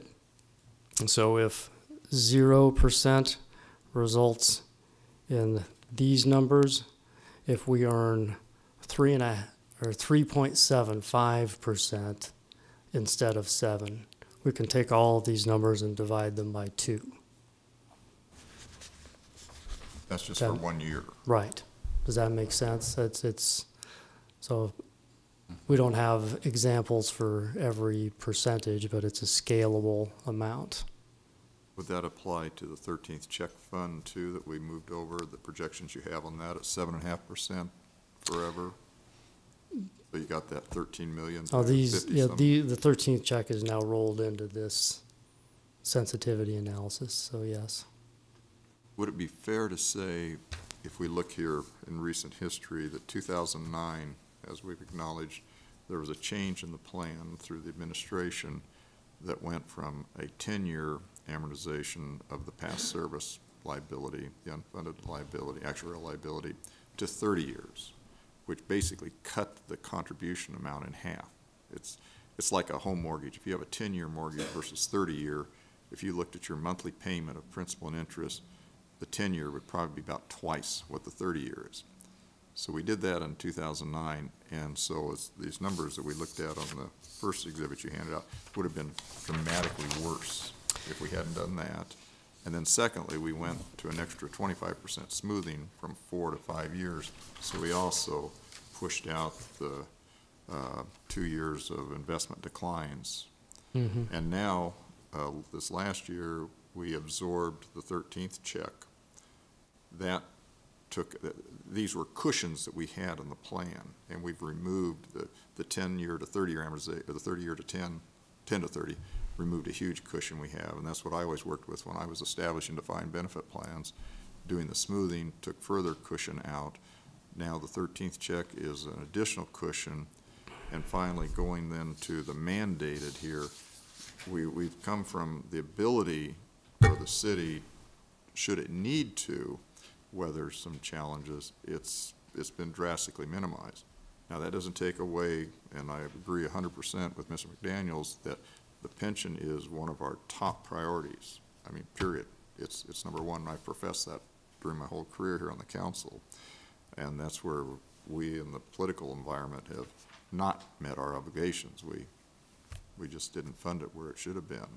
But by making these three moves and now this fourth, we've taken out a lot of flexibility that does concern me, that if we just really had a, a calamity, we are locking ourselves in, and I, I think maybe it's, I, I, as I evaluate this legislation, I'm just, I'm hesitating a little bit, thinking that, uh, you know, in life, we all, we as human beings like to have some flexibility, and so, but I, I, I like to go on that schedule of what this legislation professes, because I think that's the right thing to do. It's just, what if we have a unforeseen calamity? We won't have the flexibility then. Certainly. There's a, we, we've spoken about generational equity before. And uh, while that doesn't really help with your, how to handle a calamity and the flexibility, it does kind of come into play in terms of what this policy addresses and best practices in that the people that are receiving the services um, pay for those same services. Agree with you. So if we, you know, push the cost of today's services ahead, we're, we're getting further away from generational equity.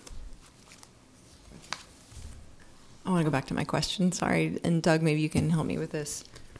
Um, If this, if the sensitivity analysis is supposed to help us address the question of what happens if the plan earns less than seven and a half percent, but the sensitivity analysis is zeroing it out for one year and going right back to seven point five percent and every year after that, how is it useful? You said it's scalable, but how is it useful if in fact maybe the seven point five percent assumption is wrong? Or is there different analysis the actuary has done that gives you confidence that the seven point five percent is right? In which case, why do this? Long-term, That, you, you follow me? You follows me? No, Yeah, that, that, that, that's actually a very good question. And uh, the answer is long-term, uh, that's what the seven and a half percent is designed to do, is to, to be a long-term um, expectation. Uh, we're never going to be probably at seven and a half. We're going to be above it. We're going to be below it. Uh, and that's what this illustrates is that one year below, maybe next year it'll be above.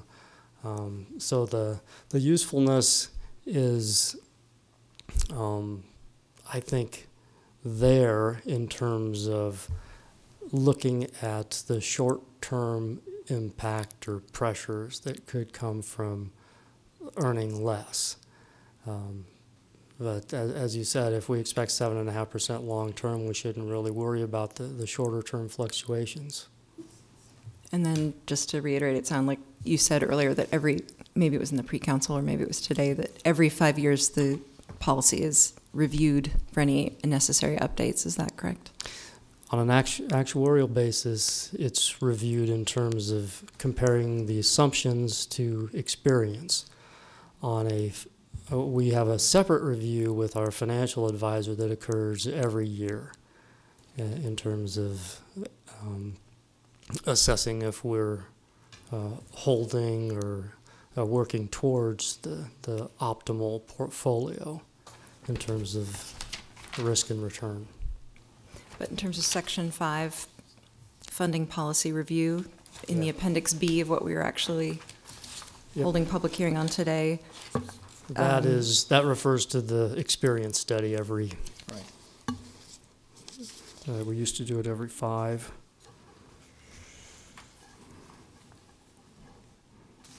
Okay. s- Yes. Not, but it says, but not less frequently than every five years, okay. That's not the funding policy, but the experience, those assumptions we make to put into the plan, Yeah. such as the census tables, what the rate of return should be, um, so on and so forth. I think the idea is that when we do the, the experience study, that'll be our cue to look at this uh, funding policy also. Well, that's what I was, I wanted to confirm, because it sounds like what it's saying is that this funding policy that we're discussing today is what will be also reviewed and amended as necessary by the plan administrator, not less frequently than every five years, following the experience study. Okay. Yes. So there's some room for tweaking it, sounds like, in the future as needed. Absolutely. Okay, thank It's you. a, it's a moving target. Any further questions from the council? Is everyone behind me fast asleep? Yes. Nobody's behind you. Thank you. What we live and breathe. Okay. All right, thank you very much. All right, this time I'd invite anyone else who'd like to speak to this item to come forward.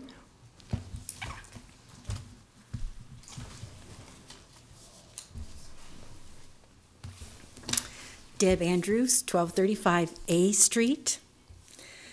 I oppose the proposed ordinance to fund the police and fire pension plan at 110% as recommended by an actuarial firm. We can't afford it. Currently, the city falls short of funding basic services, park maintenance, snow removal, public transportation, street maintenance, to name a few.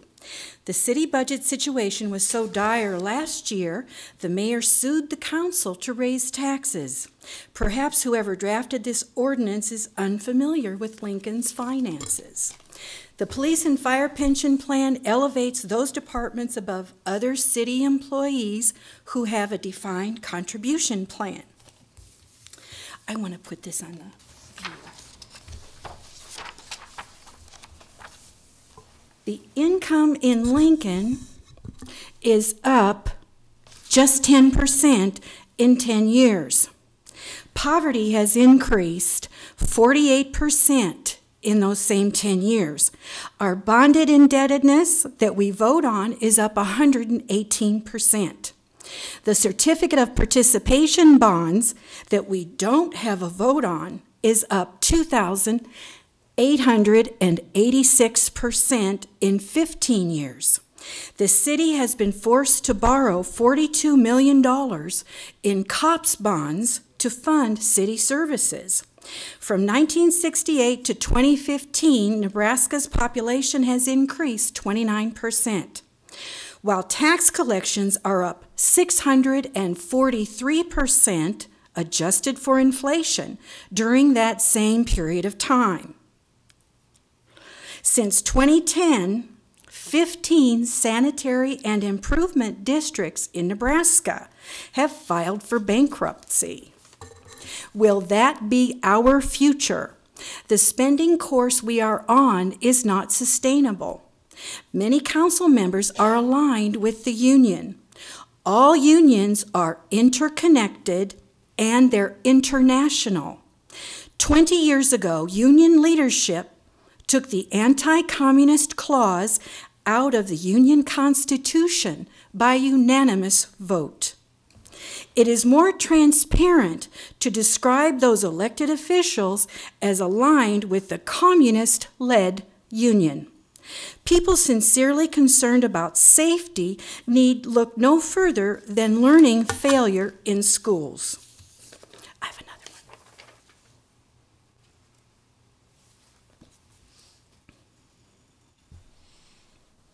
Just 40% of Nebraska students are proficient at reading. For blacks, just 22% score proficient at reading. How will they support themselves? In math, it's a little bit better. 46% of Nebraska students are proficient at math but just 12% of black students are proficient at math. There's nothing wrong with our students. The problem lies in curriculum and instruction. The teachers' union is the largest in the nation. All ignore learning failure. Learning failure is union success. The system expands. The LPS curriculum director presiding over the largest number of failing schools in the state just had a school named for her. Your vote whether or not to support this ordinance to fund the pension at 110% as ordered by an actuary will inform Lincoln citizens who you represent, citizens or the communist led union. For council members who support this ordinance, I recommend a book just published by the MIT Press. Communism for Kids How Capitalism Makes People Suffer. The passage of this ordinance will accelerate Lincoln's trajectory of soaring debt and exploding poverty. And I have handouts if you want to give each council member. Thank you. That's all. Would anyone else like to speak to this item?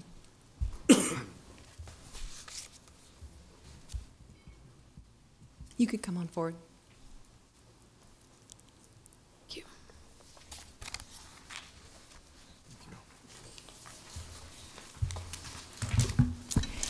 Jane Kinsey with Watchdogs of Lincoln Government.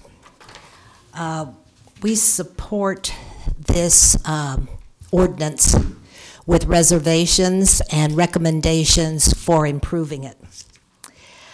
Uh, According to the report uh, that was made about the pension fund, and I won't go over some that's already been said, but it's noted that since 1990, the city has contributed 7 million less than the recommended contributions. The committee that studied this does not know for certain why. When the plan was fully funded or nearly funded, perhaps the elected officials felt they could contribute less than what was recommended. Certainly, it is a way to balance the city's budget in the short run. However, the reasons the city's pension contribution was, however, the reas- whatever the reasons, the city's pension contribution was shortchanged too often. The city does, none of this works. However, if the city does not make the recommended contributions year after year, if we can't afford it or we are unwilling to commit the resources to fund it properly, properly, then the city's leaders must find a way to reduce the obligation. Not funding the city's obligation to the pension plan may also negatively impact, may also negatively impact the city's credit ratings, the city's credit ratings for the municipal bonds, a needed funding source for many pro, um, projects. And one thing all sides uh, agree the city must fund its obligation, period. The standard expectation of a democratic government is safety obligation, and that is an established order to protect its citizens.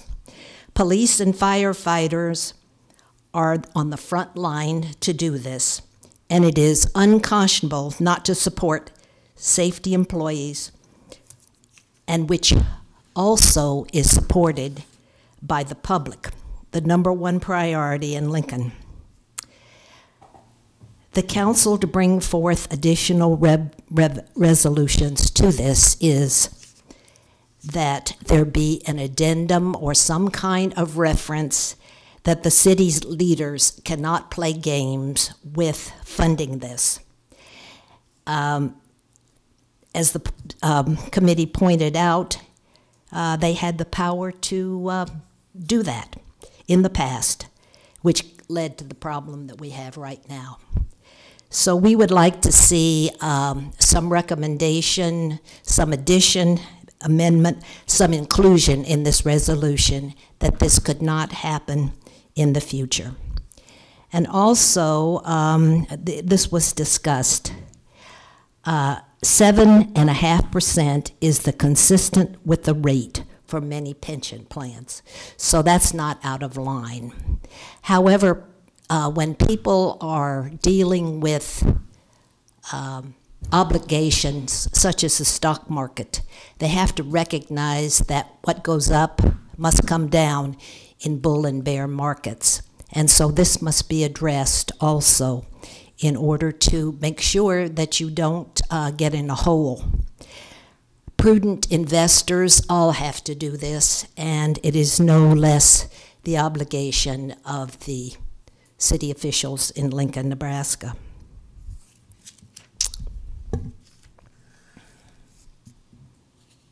Thank you. Would anyone else like to speak to this item? Okay, seeing none, please call the next item. All right, I'll call item 29, creating alley repaving district number 51 from 18th Street to Antelope Valley Parkway between O and N Streets. Hello, Randy Hoskins, Assistant City Engineer. Uh, Public Works has received a petition to create an alley paving district, um, as you see there, uh, between uh, O and N and uh, 18th and Antelope Valley. Basically, this would uh, repave about half an alley where we have some tranches, which uh, is, is a, is a combination of a pothole and a trench. Um, And so uh, this is uh, something. So we have potholes on our pension plan. And with that, I You're doing would pretty well. offer to answer any questions. I think we need to change our vocabulary. Any questions? All right, thank you. Would anyone else like to speak to this item? Someone who's been very patient. That's okay, you have serious matters before you. Robert Duncan, 4801 North 7th Street. Uh, uh, I'm a partner in Assemblage, which backs up to this alley. Uh, The alley's, uh, the- our portion of the alley is very old with bricks and it- and it- drainage is poor, and uh, it just needs to be replaced. And I've talked to the uh, the gentleman across the street from it, he's okay with that. In fact, I think, I believe that everyone is okay with it. Thank you. Thank you. Would anyone else like to speak to this item? Excuse. All right, seeing none, please call the next. All right, next is item 30, text amendment 17003, amending chapter 27.67 of the Lincoln Municipal Code relating to parking by amending section 27.67.030 to allow parking in the front yard in the R4, R5, R6, and R7 zoning districts when the property is used for single-family dwellings, two-family dwellings, and townhouses, and to allow required parking spaces to be stacked, and repealing section 27.67.030 as hitherto existing. Steve Henrichsen with the Planning Department, also Jim Christo, the applicant, is here in case you have any questions for him. Uh, This is pretty much a minor text amendment. Uh, Mr. Christo came forward, he was looking to redevelop some property uh, that is in the R5, R6, and R7 uh, districts. Um, And uh, specifically, this was an item where he wanted to do, um, either have uh, two units attached to each other or potentially three or four units attached to each other. And we realized our current code didn't allow for parking to be legally counted as part of the required parking if it was stacked behind a garage. It's something that's typically done in our R1 through R4 districts. In reviewing it, we determined that it really made sense. We're in our multifamily districts also encouraging uh, townhomes or single-family attached housing. Um, And so this is a a relatively minor amendment that would allow us to count that in front of a garage. And that would allow Mr. Christo to have some uh, units that have a one-car garage and count as part of his required parking, people with a parking space uh, behind the garage. Any questions? Great, thank you. Would anyone else like to speak to this item? All right, please call the next item. All right, next is item 31, approving a real estate sales agreement between the city and Kirk Havronik for the sale of city-owned properties generally located at 5122, 5132, and 5142 Betty Lou Boulevard. David Landis, Urban Development Department Director, and the applicant in this case. It has a ring to it, doesn't it? Mhm. Betty Lou Boulevard. This is the sale of three lots that uh, the city originally bought for $10,000 from the developer in the Glen Oaks area. Um, It was to allow the Glen Oaks area to proceed without undoing uh, a relatively costly uh, linkage between um, the sewer, uh, I'm sorry, make that the stormwater in the area and the city's stormwater system. What happened instead was that uh, we took over the property and that we put in a box culvert high here, and the water essentially would come into those three lots. Now that property is more valuable. You, you want to put that back, and we didn't even get to see it Get to see it. projected. Thank you. Um, The box culvert is back in this area. That allowed the rest of the lots to be built without this relatively expensive proposition of making the linkage. And to do that, the developer sold back to the city these three lots for ten thousand dollars, and the lots were used to where the water went when there was stormwater.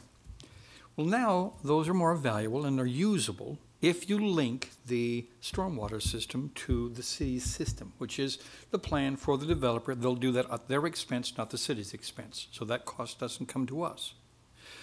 But um, they have agreed to pay us seventy-three thousand eight hundred dollars for um, these, essentially, these lots here.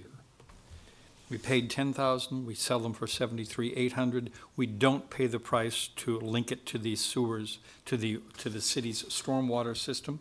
And we get um, what in this area quite likely would be, let's say, three two hundred and fifty thousand dollar homes built on this land that is otherwise unused. We now pay maintenance on the property because we mow it. And because it's been platted and has no civic purpose at the moment, it will be taxed this year unless we sell it. We'd like to sell the property. Any questions? Carl? This, this is unusual. This, usually when you come before us, it's the other way. other way so, around. Yeah, so, thank you. You must have read The Art of the Deal. I just wish I could keep a share, you know, like a, like a finder's fee, like ten percent, but I can't. Goes to the advanced land acquisition. Thank you. Okay, thank you. Would anyone else like to testify on this item? Seeing none, please call the next item. All right, I'll call items 32, 33, and 34 together. They are approving the Nature's Variety Phase 1 redevelopment agreement, the fiscal year 1617 CIP to authorize and appropriate $275,000 in TIF funds, and authorizing the issuance of tax allocation bonds, all for property generally located at 311, 321, and 333 Southwest 32nd Street for the construction of an approximately 24,000 square foot freeze drying facility. Members of the City Council, David Landis, Urban Development Department Director, and the applicant in this case. About five weeks ago, you would have seen this idea before you, because on March 27th, the council passed an amendment to the West O redevelopment plan for this uh, general project to be part of the plan overall. It was unanimous, as was the Planning Commission's vote of uh, two weeks prior. Nature's Variety operates out of three locations in Lincoln. They want to be more uh, effective and efficient to make sure that they are continuing to be a solid uh, company with a bright future for the 120 employees that they have in Lincoln and the 150 employees that they have elsewhere throughout the country. Um, They would like to build in this location a special freeze drying facility that will improve, again, their efficiency. Um, To support that, uh, in addition to the existing employees, they'll need between five and eight uh, employees and an engineer at the location. It's a company that's been successful in the last recent years. It's quadrupled in size over the last eight years. They hope to double in the next four. Um, this is the, the, the initial phase of their thinking. They're part of a, of a corporate uh, realignment uh, that has uh, their future mapped out, but this is um, the phase that they're currently uh, involved with in Lincoln. It involves a $3 million investment in that facility, and the accompanying TIF is $275,000 that would be spent towards site acquisition. Um, This elevates Lincoln, I think, inside the corporate structure of Nature's Variety. That's of value to us. The linkage originally came uh, from the company to our uh, economic development arm of the mayor's office, as they were looking for a place inside the company and various locations in which to make this investment. And uh, in discussions with us, uh, it was decided that Lincoln was the right place to do that. Tom Huston, the lawyer, and a representative of Nature's Variety are here. They'll be happy to answer questions, and I, I would be happy to answer your questions as best I can as well. All right, thank you.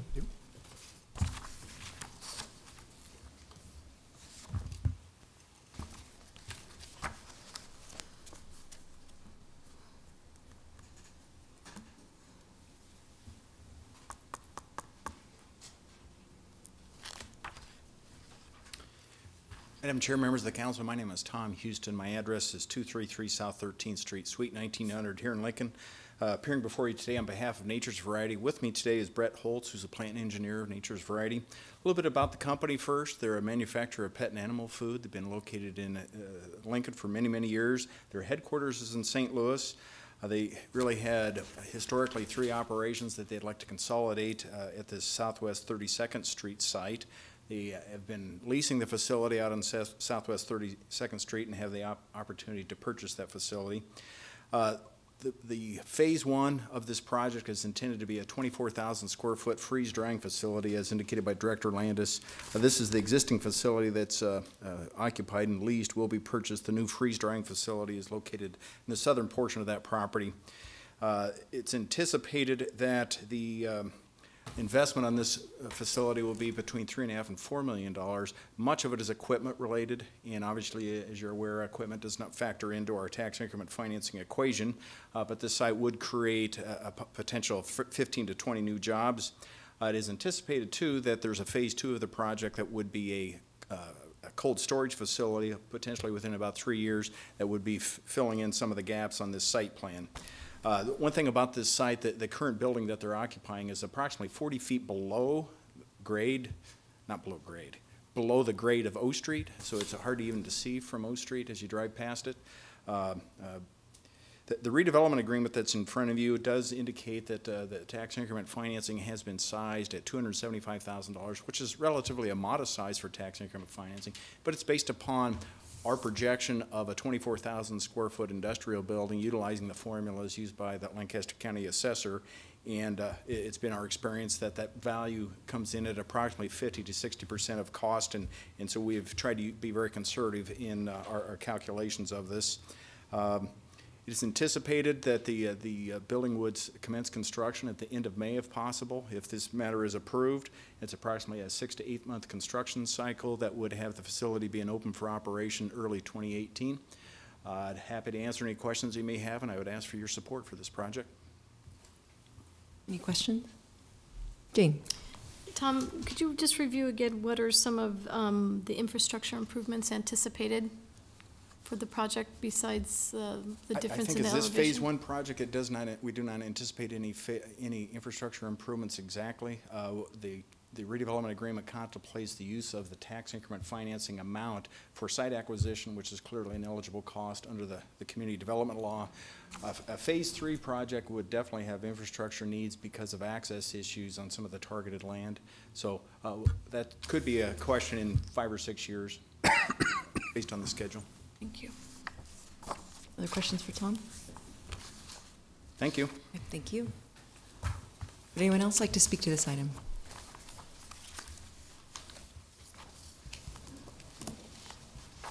Good afternoon, Marty Lee, Neighbor, uh, NeighborWorks Lincoln. Um, and this is the first I've heard of the project, so I just have a couple questions. One is with, um, tax increment financing, I understand there's gotta be a, an issue of blight, and I'm not that familiar with the area, but I would, I would be interested in what that, how that fits into this. Um, the other thing that I'm concerned about and would suggest even for future, when we're doing TIF projects in Lincoln, um, is that maybe a percentage, a small percentage of the TIF might go um, back towards the neighborhood for some improvements that are made in the area surrounding it. That's done in other parts of the country, and um, I'd really like us to start considering that maybe. Thank you. Thank you. Tom, would you like to address the concern raised? Sure. Th- This site is located on West O Street at approximately Southwest 32nd Street. It's located in the West O redevelopment area that was declared a redevelopment area and blighted substandard back in the, when the study was completed in 2006. The West O redevelopment area really starts at the bridge, uh, uh, West First Street, uh, extends all the way to Southwest 40th Street, and uh, it's P Street on the north and the railroad tracks on the south, so it's a large corridor, long corridor that was declared blighted substandard by this council's action back in 2006. Okay, Thank you. Any other questions for Tom? Well- Okay. Oh, Jane? Yeah, going back to Marty's suggestion, um, I know you're, you're sort of the guru of tax increment financing. Um, do other municipalities designate a percentage of that towards the uh, neighboring areas in improvements to those areas? Not as such. I, I mean, some cities do charge a, a varying amount of, of a percentage of the tax increment financing sum for, it still has to be an eligible purpose, it still has to be an eligible use under the community development law for redevelopment improvements within that specific project area. I've seen that happen. Uh, but the percentage varies from city to city. Uh, the city of Lincoln has not done that to date. The city, what, three years ago, two years ago, implemented the one percent administrative fee to help cover the administrative costs, which a lot of cities do that. Carl. How about uh, utilizing funds for low-income housing projects? I- I've heard some, Yeah. some talk about uh, something like that. Certainly, it's off topic, but I'm willing to talk about it. Uh, th- One of the challenges in using tax increment financing for affordable housing is it has, we have a different statute on valuation for low-income housing tax credit projects, and uh, it has to be based upon actual income, not market rental income. Uh, So as long as um, uh, the- the projections include the statutory valuation model, then yes, t- uh, TIF can be used for affordable housing. But not using, a. you've indicated that, that the TIF for this project has to stay on this site. You, you couldn't transfer it to another site for a different purpose. The community development law allows the tax increment financing sum to be used within the redevelopment area. And that this, as I mentioned, this redevelopment area is a wide or long corridor Oh, from, okay. from the bridge out to, Okay. to Fortieth Street. Um, Some cities do that. Okay. Some cities capture a amount and use it for sidewalks elsewhere within the redevelopment area, for example. Thank you.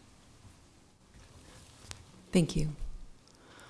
All right, Teresa, please call the next item.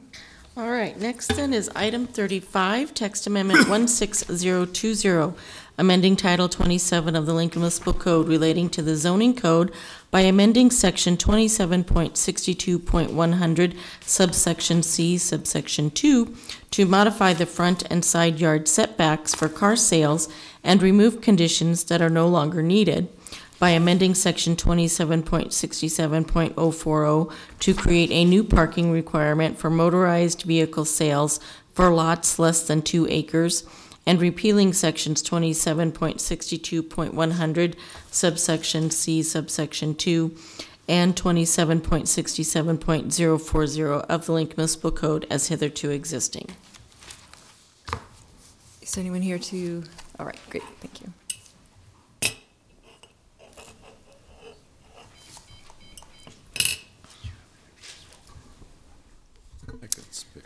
Good afternoon, uh, council members. My name is Ryan Glenn of Husch Blackwell, 13330 California Street, Suite 200 in Omaha, Nebraska. I'm here today to speak on behalf of the um, applicant who submitted the request for change in the uh, Lincoln Municipal Code um, that's before you here today. And my client is A and B Auto, um, which you're very likely familiar with, um, located approximately at 33rd and Cornhusker here in Lincoln. The text amendment that we have requested is in three parts, but the Planning Commission has uh, recommended approval with respect to the parking amendment to reduce the required parking stalls for employees and customers to three spaces if your lot is um, in size of less than two acres. And so we are, of course, in support of their recommendation on that issue. And so I would rather focus my time uh, with you here today on the other two remaining text amendments. The first one is with respect to the uh, side yard uh, reduction in H2 and H3 zoning districts. We have proposed that the um, side yard be reduced to zero um, in order to allow for motor vehicle sales um, to occur in the side yard. The current restrictions um, provide that for um, properties like my client's property, um, the side yard area is 15 feet from the uh, property line on the side of the individual's property. That has a tremendous impact on uh, not only my client's property, but also several other business owners uh, within the H2 and H3 zoning districts, um, some of whom uh, are here with us uh, this afternoon that also intend to speak before you on these two measures. The side yard issue um, in the grand scheme of things, when you're looking at the comprehensive plan that has been um, submitted um, to the city of Lincoln to help, you know, beautify the area, it really does not have an impact on that comprehensive plan as we have it proposed here today. And the reason I say that is because there's still in the proposed text amendment on the side yard issue, there still remains an exclusion for if the H2 and H3 zoning district property is located uh, next to a residential property, that does not apply. And so the current zoning restrictions for the 15 feet would still remain in effect if the property was located next to a residential area. With respect to the front yard issue that we have um, submitted, that is a little bit more complicated. And so the way that we have proposed it um, as a text amendment is that for properties in the H2 and H3 zoning district, the front yard would be reduced to six feet from the property line.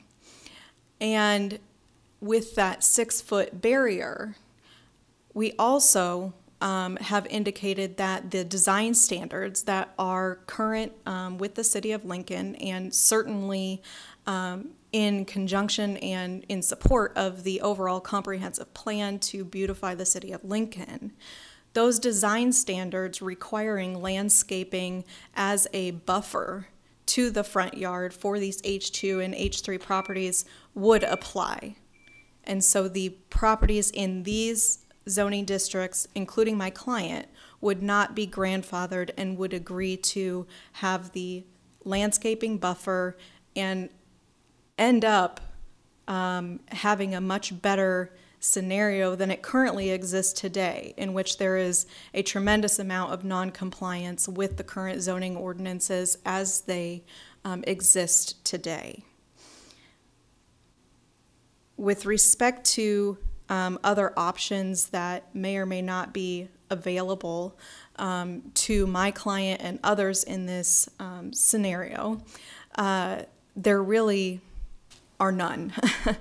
Um, because if we were to submit a, um, for example, a variance request with the zoning board, um, we would end up needing to prove a significant hardship in order to do that, and it's just not very um, likely that that would end up um, successful because of the nature of the size of the lot in comparison with the overall footprint of the building and um, the area surrounding it. But by having these um, reductions in the front yard and the side yard, um, my client would be able to um, ex- to further lay out his property in a better manner in order to remain consistent with the comprehensive plan. Any questions? Okay, thank you. Would anyone else like to speak to this item?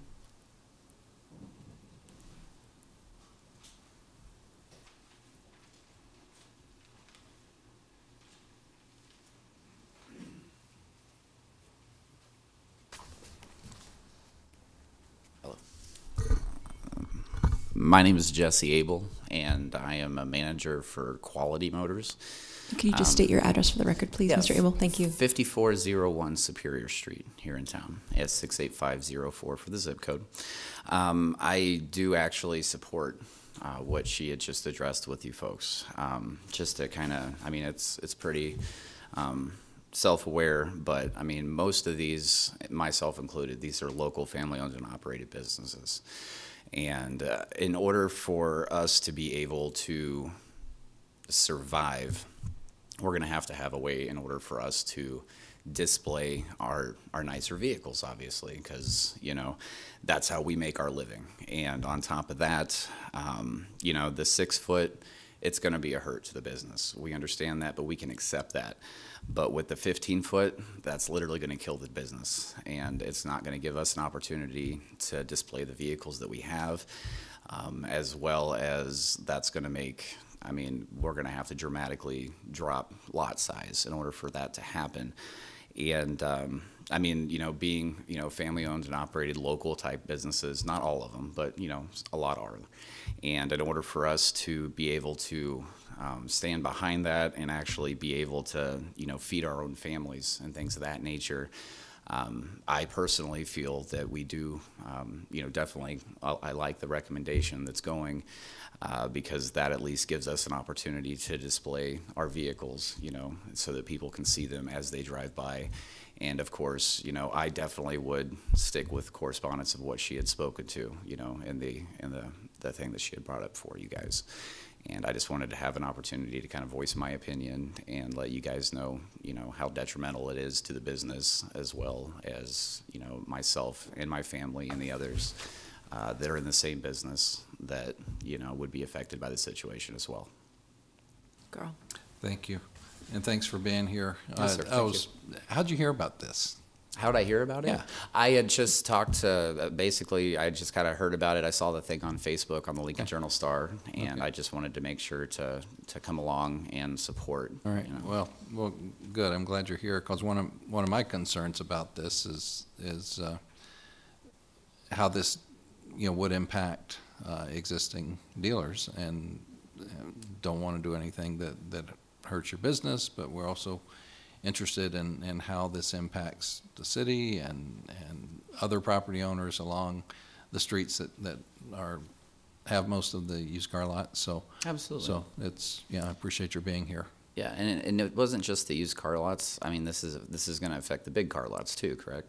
And, you know, you know, it's just a business, and I just want to make sure, you know, that the big guys are protected as well as the little guys. Okay, great, thank you. Absolutely.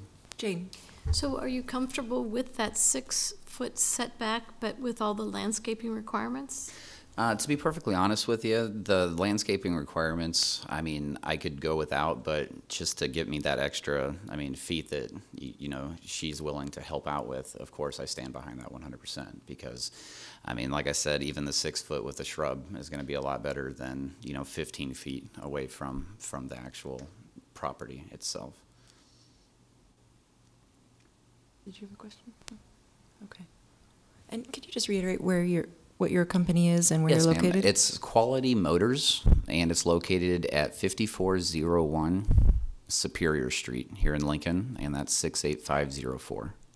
So you are existing business, um, and, and are you currently out of compliance because you weren't aware of it, or how will No, this um, impact you then? Absolutely. I actually just opened doors um, two weeks ago, and I had already been aware of the six foot. I hadn't heard anything about the 15 foot until I read this in the news.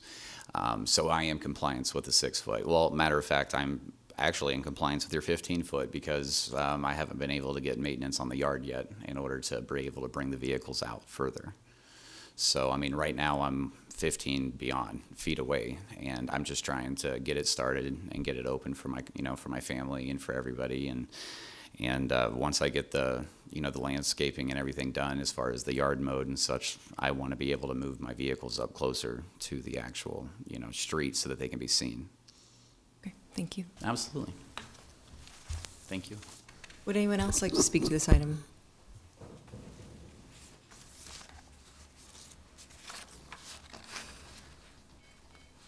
My name is Susan Phelps, and I run Westo Auto on 2111 O Street. And with the drawback of us having to pull our vehicles back from the road, if we were to have to comply with the 15, I'd lose spots for 65 of my vehicles. And that would basically shut us down because I wouldn't have any vehicles myself. With having that drawback, I can do with the six feet and still be able to keep the business afloat and bring in a profit for our business. But with the 15 foot back, I'm only going to have room for about 30 vehicles. Whereas I have a a lot where I can house almost hundred and thirty vehicles. But with that drawback, that's just gonna devastate us too much.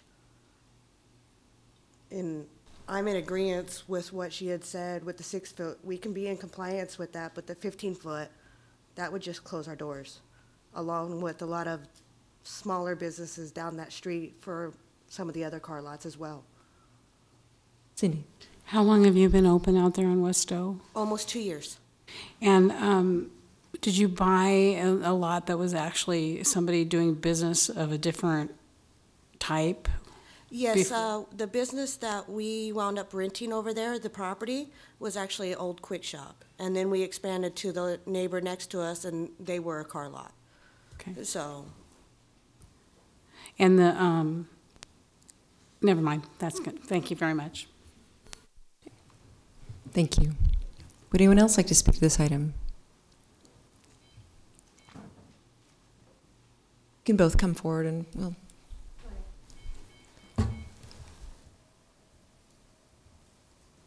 Marty Lee, NeighborWorks Lincoln. Um, very much opposed to this. Um, we have been um, there. The first that I heard of this, the issue was that um, we have an ordinance in place of 15 feet, but it's not um, it's not enforced, and so therefore, let's change it and make it every everything be in compliance. I'm sorry, but that's not the way that you work on on um, beautification of an area. I mean, there was a reason for this ordinance in the first place. Um, the people that you're hearing from today have been in business, and so we are not shutting their business down. This is the way it has been. Um, I was concerned very much about the issue of residential areas next door, so I was pleased to hear that they've changed that because there's nothing worse than being in a residence and all of a sudden seeing a bunch of cars parked in your front yard. Um, the other issue that I have is that um, a lot of these side yards aren't even paved. They're not not developed. They're just grass lots. I'm sorry, but that's in my mind that's not a um, acceptable for vehicles anywhere. Even in your own yard, you don't put your vehicles on grass. Um, if you look at the area around um, P Street and 22nd Street, we've got a whole block full of used cars. And I'm not opposed to used cars, but they're parking on the sidewalks, they're parking on the driveways. If we're talking about changing this to a six foot from the property line, and you're going to put some bushes and you're going to have a sidewalk and that's not going to happen. You know that's not going to happen. They're not going to be putting, if they're concerned about their cars looking, being visible from the street, they're not going to be putting bushes in front of there. I think we have to be realistic about this. It, um, I think it needs a little bit more work. Um, I'm, we're, we've talked to different neighborhood associations. We had the city planner look at all the different locations that could be impacted by this. Um, I just think that the idea of maybe expanding the, uh, uh, the number of parking spaces available for the employees is fine. I don't have any problems with that. But the other two issues that we're very much opposed to that. Cyndi? Um, thank you. Thanks for being here today. Can, do, can you tell me where, when you said some of the side lots, that they're just grass lots, do you Mhm. have some um, examples? 22nd and P. I should have probably taken Oh, some at the pictures, 22nd and P? Yeah. Okay, I mean, um, that's just one. I mean, I haven't gone around and, and looked at everything. It's over by Antelope Square and all that, but. And um, so NeighborWorks wasn't part of the Planning Commission's review of this particular request. Did you just not know about it? Oh, no, I knew about it. We've, we've been involved from the very beginning with, when this issue first came up a couple months ago. Okay. We were at the Plan Commission, talked there. Okay, and so I, I guess I didn't see anything in there about testimony, did you? I'm, um, well, we, I'll, I'll, we did okay. to staff. I'll, I'll ask Dave when he Okay. comes up. Thanks so much for your coming today. Uh-huh. Would anyone else like to speak?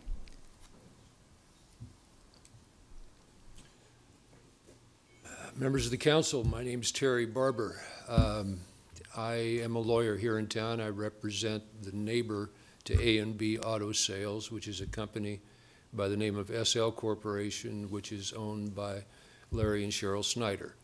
Um, uh, I don't think I want to plow the ground that's already been plowed. I think you have in front of you the staff report, the report from the planning director and from the planning commission, and I think, unless I miscounted, all of the things that the commission noted in the, in their uh, discussion of this matter have been demonstrated here this afternoon. Uh, We, we haven't had enough go into the study of this. It's going to create too much chaos. And it looks like we're using or trying to use a text amendment to deal with a spot problem. Uh, So uh, for the, for the reasons that, the- that staff made their report and the commission um, voted only for conditional approval, I would simply urge you to do the same and, and uh, approve the reduction in parking spaces for the uh, two acre and, and uh, less lots, but uh, deny the text uh, amendment changes with respect to side yard and front yard. Thank you. 20, uh, 300 North 44th Street, number 205 in Lincoln. Cyndi? Thank you. Um, This, thanks for being here today. The Snyders, are, aren't they the folks that so, that have a purchase and sale agreement with uh, A and B for part of that lot that's on the corner? Uh, Well, it's, it's a strip, I don't have a map in front of me. If you go to the steakhouse and uh, to the parking lot in the, in the, in the, on the west side of the restaurant. Correct. There's a light pole, okay? That light pole essentially defines the west boundary of the steakhouse lot. Okay. Okay, which really shorts them as far as display area.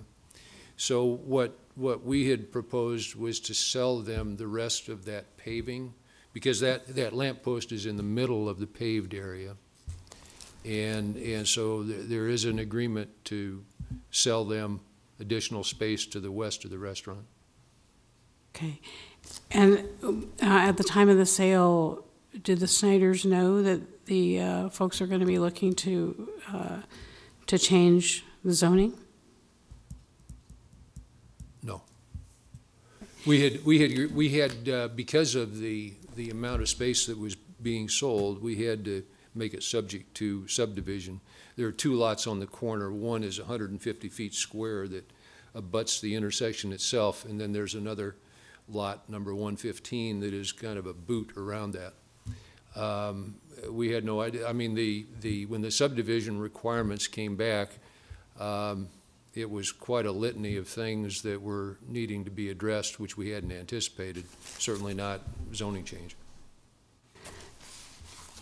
Were, um, one of the zoning requirements, I think that, um, I'm sorry, the subdivision requirements, as I recall, was to build a sidewalk on 33rd Street by the, uh, from the, the point of the railroad tracks and north to Cornhusker.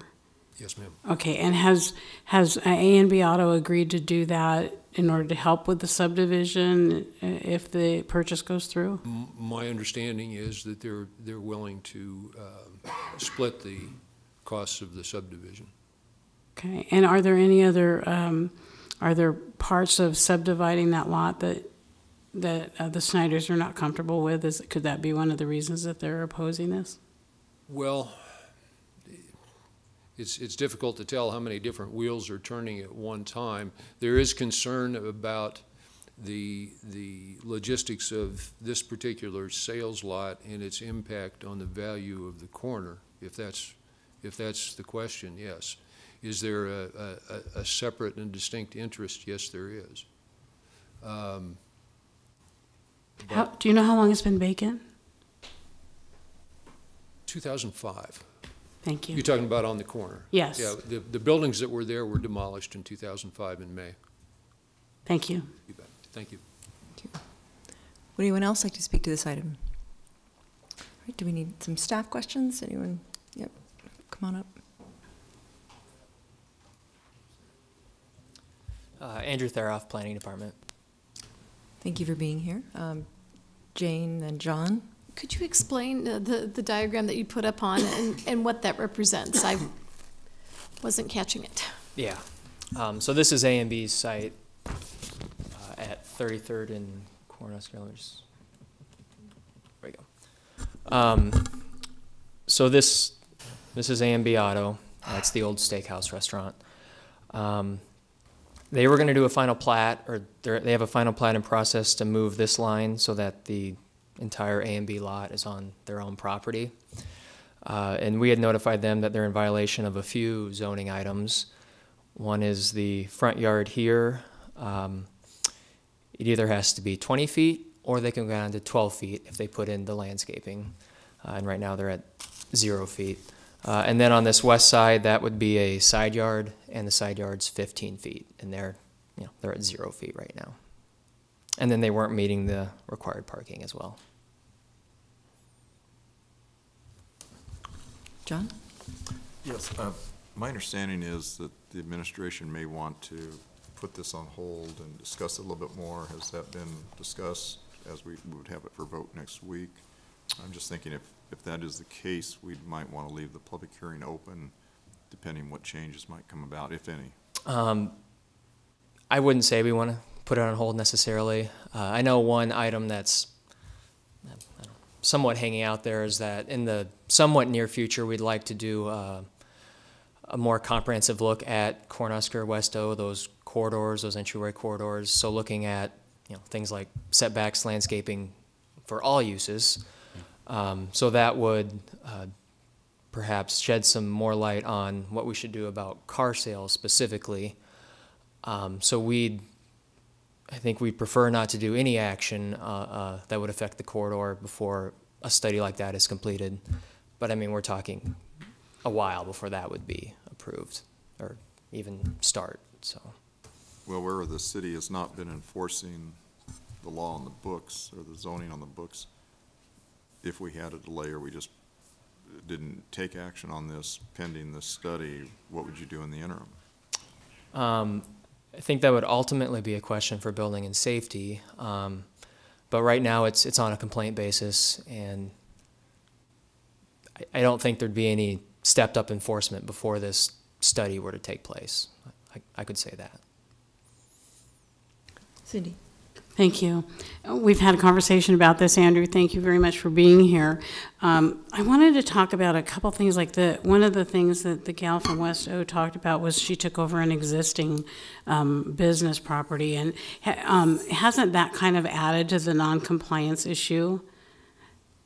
Um, so, yeah, I guess I'll, I'll explain setbacks a little bit. Okay. In the area. So in H2 and H3, parking is actually a zero foot setback. Um, so you can have parked cars uh, up to the lot line, except new parking lots, we have our parking lot design standards where there's a six foot screening buffer in place. Uh, but along Cornhusker and West O, every parking lot basically predates that. So we have parking lots all along that, that stretch that have a zero foot setback legally. Um, so those areas can be used for parking of cars, um, but they can't be used for car sales, display of cars for sale, unless there was uh, a car dealer, probably going back to 1979 or beforehand, they would potentially be grandfathered in. Um, So eh, part of it is a logistical thing. Now you have a zero parking setback, and now you're being asked to do 12 or 15 feet or whatever, and, and screening, you would have to literally like tear out asphalt and concrete in order to do the screening in an existing business. Uh, correct. Um, so the setback today is 20 feet. So if you did 20 feet, you could Right. leave the pavement and, I mean, you could have car parking in that first 20 feet. You just couldn't have cars displayed for sale. But yes, if you wanted to go 12 feet away, you would need to tear out pavement and put in landscaping. Okay. And so this, um, my understanding is if we went to the six foot, that the, um, the applicants have, uh, agreed to do a ninety percent screening. That would be part of the six foot, uh, change. Mhm. Six foot setback, ninety percent screening, just to beautify the entrance and exits of the city. Correct, yeah. Um, so as you, right now, they have a zero foot setback. They'd be putting in a six foot landscape buffer. Okay. Um, I think that'd be a great improvement at 33rd and 35th and Cornhusker. That's been vacant and dirt basically since 2005. Thank you. Roy? I gotta admit, I'm a little perplexed. So used cars that belong to a private citizen who drives on their lot and parks there are okay, but used cars for sale are not. Yeah, so it's it's the way we look at it as um, the inherent differences between a parking lot and a car sales But lot. there's still cars parked along the There's- street. Yep, that's correct. Um, but with a car sales lot, there's there's basically always cars there all the time. Parking lot, there's probably some portion of the day where there's no cars parked there. Um, and for many businesses, the parking lot's never completely full. Uh, car sales lot also could have like you know stickers on the windows or balloons, just things like that. Um, And those are bad because? well, from an aesthetic purpose, I think would be be the main question of cars parked right along the property line all the time, or you'll have with a with a parking lot. There's probably a lot of time where there's not actually any cars parked there. Okay. Any further questions? Yeah. Carl. Um, I, I appreciate the work that's being done on this from everybody's standpoint. It- It just, it seems like an issue that, that does need some attention. Um, I think especially about, uh, some of the main streets impacted, uh, Cornhusker and West O in particular. Um, I, not sure I counted them all. Uh, might, may have counted some twice, but, uh, from Northwest 48th Street to the Harris Overpass, I think I counted 20 used car lots on that, that stretch of road. And, and that's a, you know, it's an entryway right into downtown. And if there's some way that we could have some consistency there, which we have on the books now, but it's not, um, not enforced, that would improve property values. We just had before this a, a hearing on another issue that, you know, was trying to improve property values on the West O. And, and this would help as well. So, um, I, I guess just speaking personally, I, I would, would like to see us, uh, dig in and, and kind of figure this out long-term would be good. Jane. So I guess this is a little bit confusing. We, we, we have a standard right now, but it's not being enforced. So we're asking to put in a new standard, and how's that new standard going to be enforced or in compliance? And then in the, the paperwork that we received, they talked about some places being grandfathered in.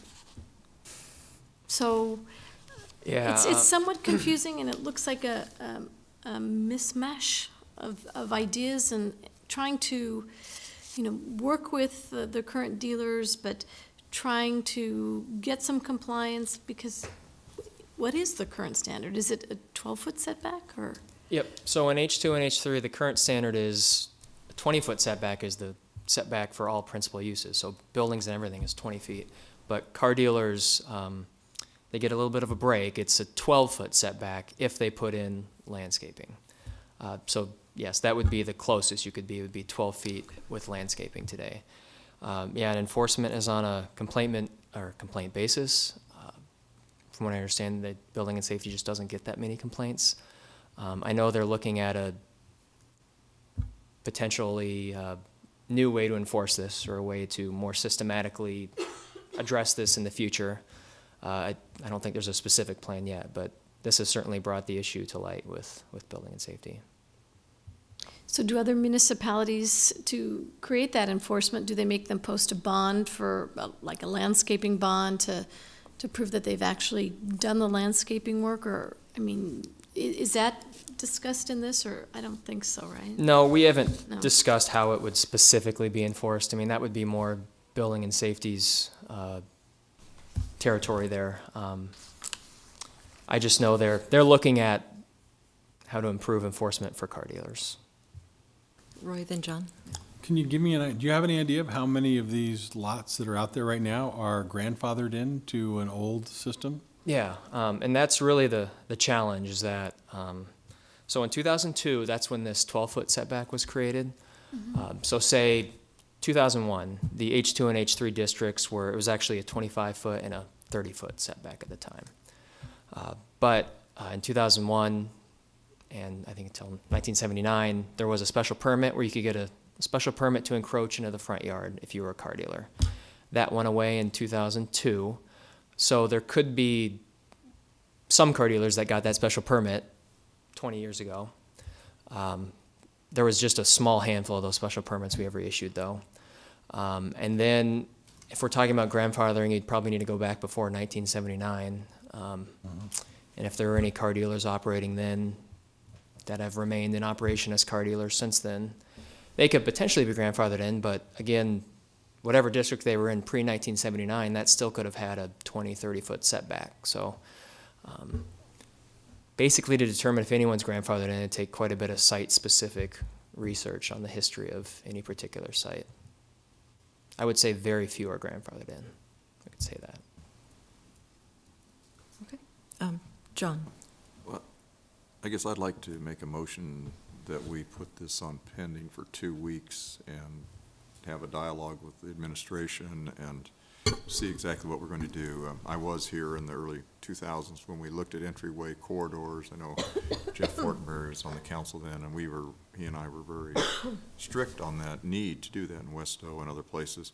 But I think uh, perhaps as the policies were brought forth, that, uh, and in light of conditions, that we just, we need to reevaluate what we're doing, and rather than piecemeal it here, uh, subject these business people to enforcement, uh, maybe we just hold off here and, and see in the next two weeks, and then we can say what we do from there, but I think there needs to be a dialogue outside these chambers. So that's my motion. I'll second the motion. Um, I would ask that the hearing be held open. I understand that as part of that in O2, the Lincoln, or the West O Business Association was involved also, and we haven't really heard from them yet. Um, I would just, before we take a vote though, if we could just ask if there's a deadline for the sale to take place, if we, you know, if there's anything we should be cognizant on that, in that regard. And so if we could, if maybe the applicant could come back up, would that be all right with everyone? Yeah. Thank you. It's gotta be three Good clarification, thank you. Uh, With respect to your, your question, um, there, the purchase agreement um, contemplates that there will be um, a subdivision that is um, finalized through the plat procedure um, with the city. And this um, process that we've engaged in uh, became necessary in order to do that. And so I think the, the delay of um, a couple of weeks, if the council members so choose, would be fine. Thank you.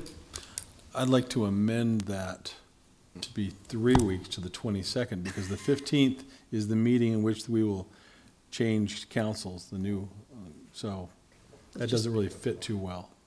So it was Good moved by point. Jon, seconded by Cyndi, I and, accept that.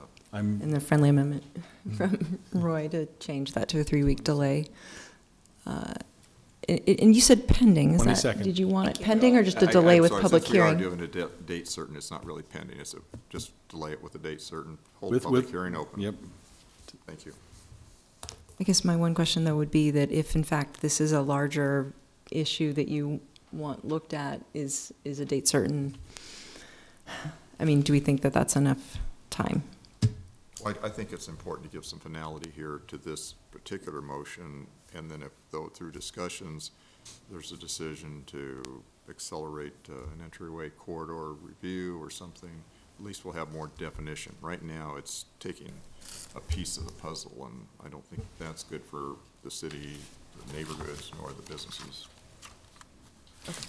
And do you want action on the 22nd then? Yes, under my motion. With public hearing and action. Any further discussion on the motion? I just have a question for Ms. Glenn. Yes. Um, you, you spoke before that your, your clients would accept a, a six-foot setback with landscaping requirements fulfilled. Um, Can you talk about a mechanism that the city could put in place that maybe you've seen in your, your practice in Omaha that other municipalities have done on the enforcement side? Do they put, a- fo- request a bond? Um, While you're here, I mean, we can continue to this dialogue for three weeks, but what, what have you seen? Well, first and foremost, I think it would be important to have an, um, at least maybe one or two or even three informational sessions that are very um, widely publicized um, throughout the city of Lincoln for um, members in the H2, H3 zoning district so that um, there can be a kind of like a mini town hall meeting um, to explain this new zoning ordinance that is put into effect, um, explain how, um, I mean, just as just as the other car dealers that um, were here before you um, explained to you, they understand that they're going to be subject to the new design standards and not grandfathered in um, as they may be now, but they understand the overall goal is to be able to have the six foot um, front yard setback and still maintain their business and their livelihood. And so I think information is key. Um, communication is key with everybody involved. Um, and with respect to a, a bond, um, that might be um, one mechanism that could be um, implicated to ensure that um, folks do it. Otherwise, certainly uh, more enforcement by the city building officials um, to, you know, do random um, drive-by um, evaluations and observations and have more communication with these folks to tell them what the current zoning ordinances are um, and go from there. Thank you. Okay. So we have a motion on the floor. Thank you, you can have a seat. Thank you. Uh, Any further discussion on the motion to delay action with public hearing to May 22nd? Trent's very happy, he's not going to be here for I was that. gonna vote no. All right, please call the roll. Fellers? Yes. Gaylor Baird? Yes. Lamb? Yes. Raybould? Yes. Camp? Yes. Christensen? Yes. Eskridge? Yes. Motion carried, seven to zero. No one else wishes to come forward. That concludes our public hearing portion. We can move into the voting session. I don't see anyone else coming forward. In fact, everyone's leaving. All right, public hearing resolutions. Item twenty-four is Big Red Restaurant and Sports Bar as a Keno satellite at eighty-nine thirty-three Andermatt Drive, introduced by Eskridge. So moved. Second. Seconded by Jon. Discussion? Please call the roll. Fellers? Yes. Gaylor Baird? Yes. Lamb? Yes. Raybould? Yes. Camp? Yes. Christensen? Yes. Eskridge? Yes. Motion carried, seven to zero. Item twenty-five is the report of claims for the period of April first through the fifteenth, introduced by Eskridge. So moved. Seconded by Roy. Discussion? Please call the roll. Fellers? Yes. Gaylor Baird? Yes. Lamb? Yes. Raybould? Yes. Camp? Yes. Christensen? Yes. Eskridge? Yes. Motion carried, seven to zero. Item twenty-six is the interlocal agreement with county corrections for roadside litter pickup, introduced by Eskridge. So moved. Second. Seconded by Jon. Discussion? Please call the roll. Fellers? Yes. Gaylor Baird? Yes. Lamb? Yes. Raybould? Yes. Camp? Yes. Christensen? Yes. Eskridge? Yes. Motion carried, seven to zero. Item twenty-seven is the interlocal agreement with the UNL Board of Regents to provide, maintain, and update online food handler training programs, introduced by Eskridge. So moved. Second. Second by Jon. Discussion? Please call the roll. Fellers? Yes. Gaylor Baird? Yes. Lamb? Yes. Raybould? Yes. Camp? Yes. Christensen? Yes. Eskridge? Yes. Motion carried, seven to zero. Public hearing ordinances second reading are items twenty-eight through thirty-five. Ordinances third reading, item thirty-six, approving the Eleventh and P and Lincoln Commercial Club redevelopment agreement, introduced by Christensen. So moved. Second. Seconded by Trent. Discussion? Please call the roll. Fellers? Yes. Gaylor Baird? Yes. Lamb? Yes. Raybould? Yes. Camp? Yes. Christensen? Yes. Eskridge? Yes. Motion carried, seven to zero.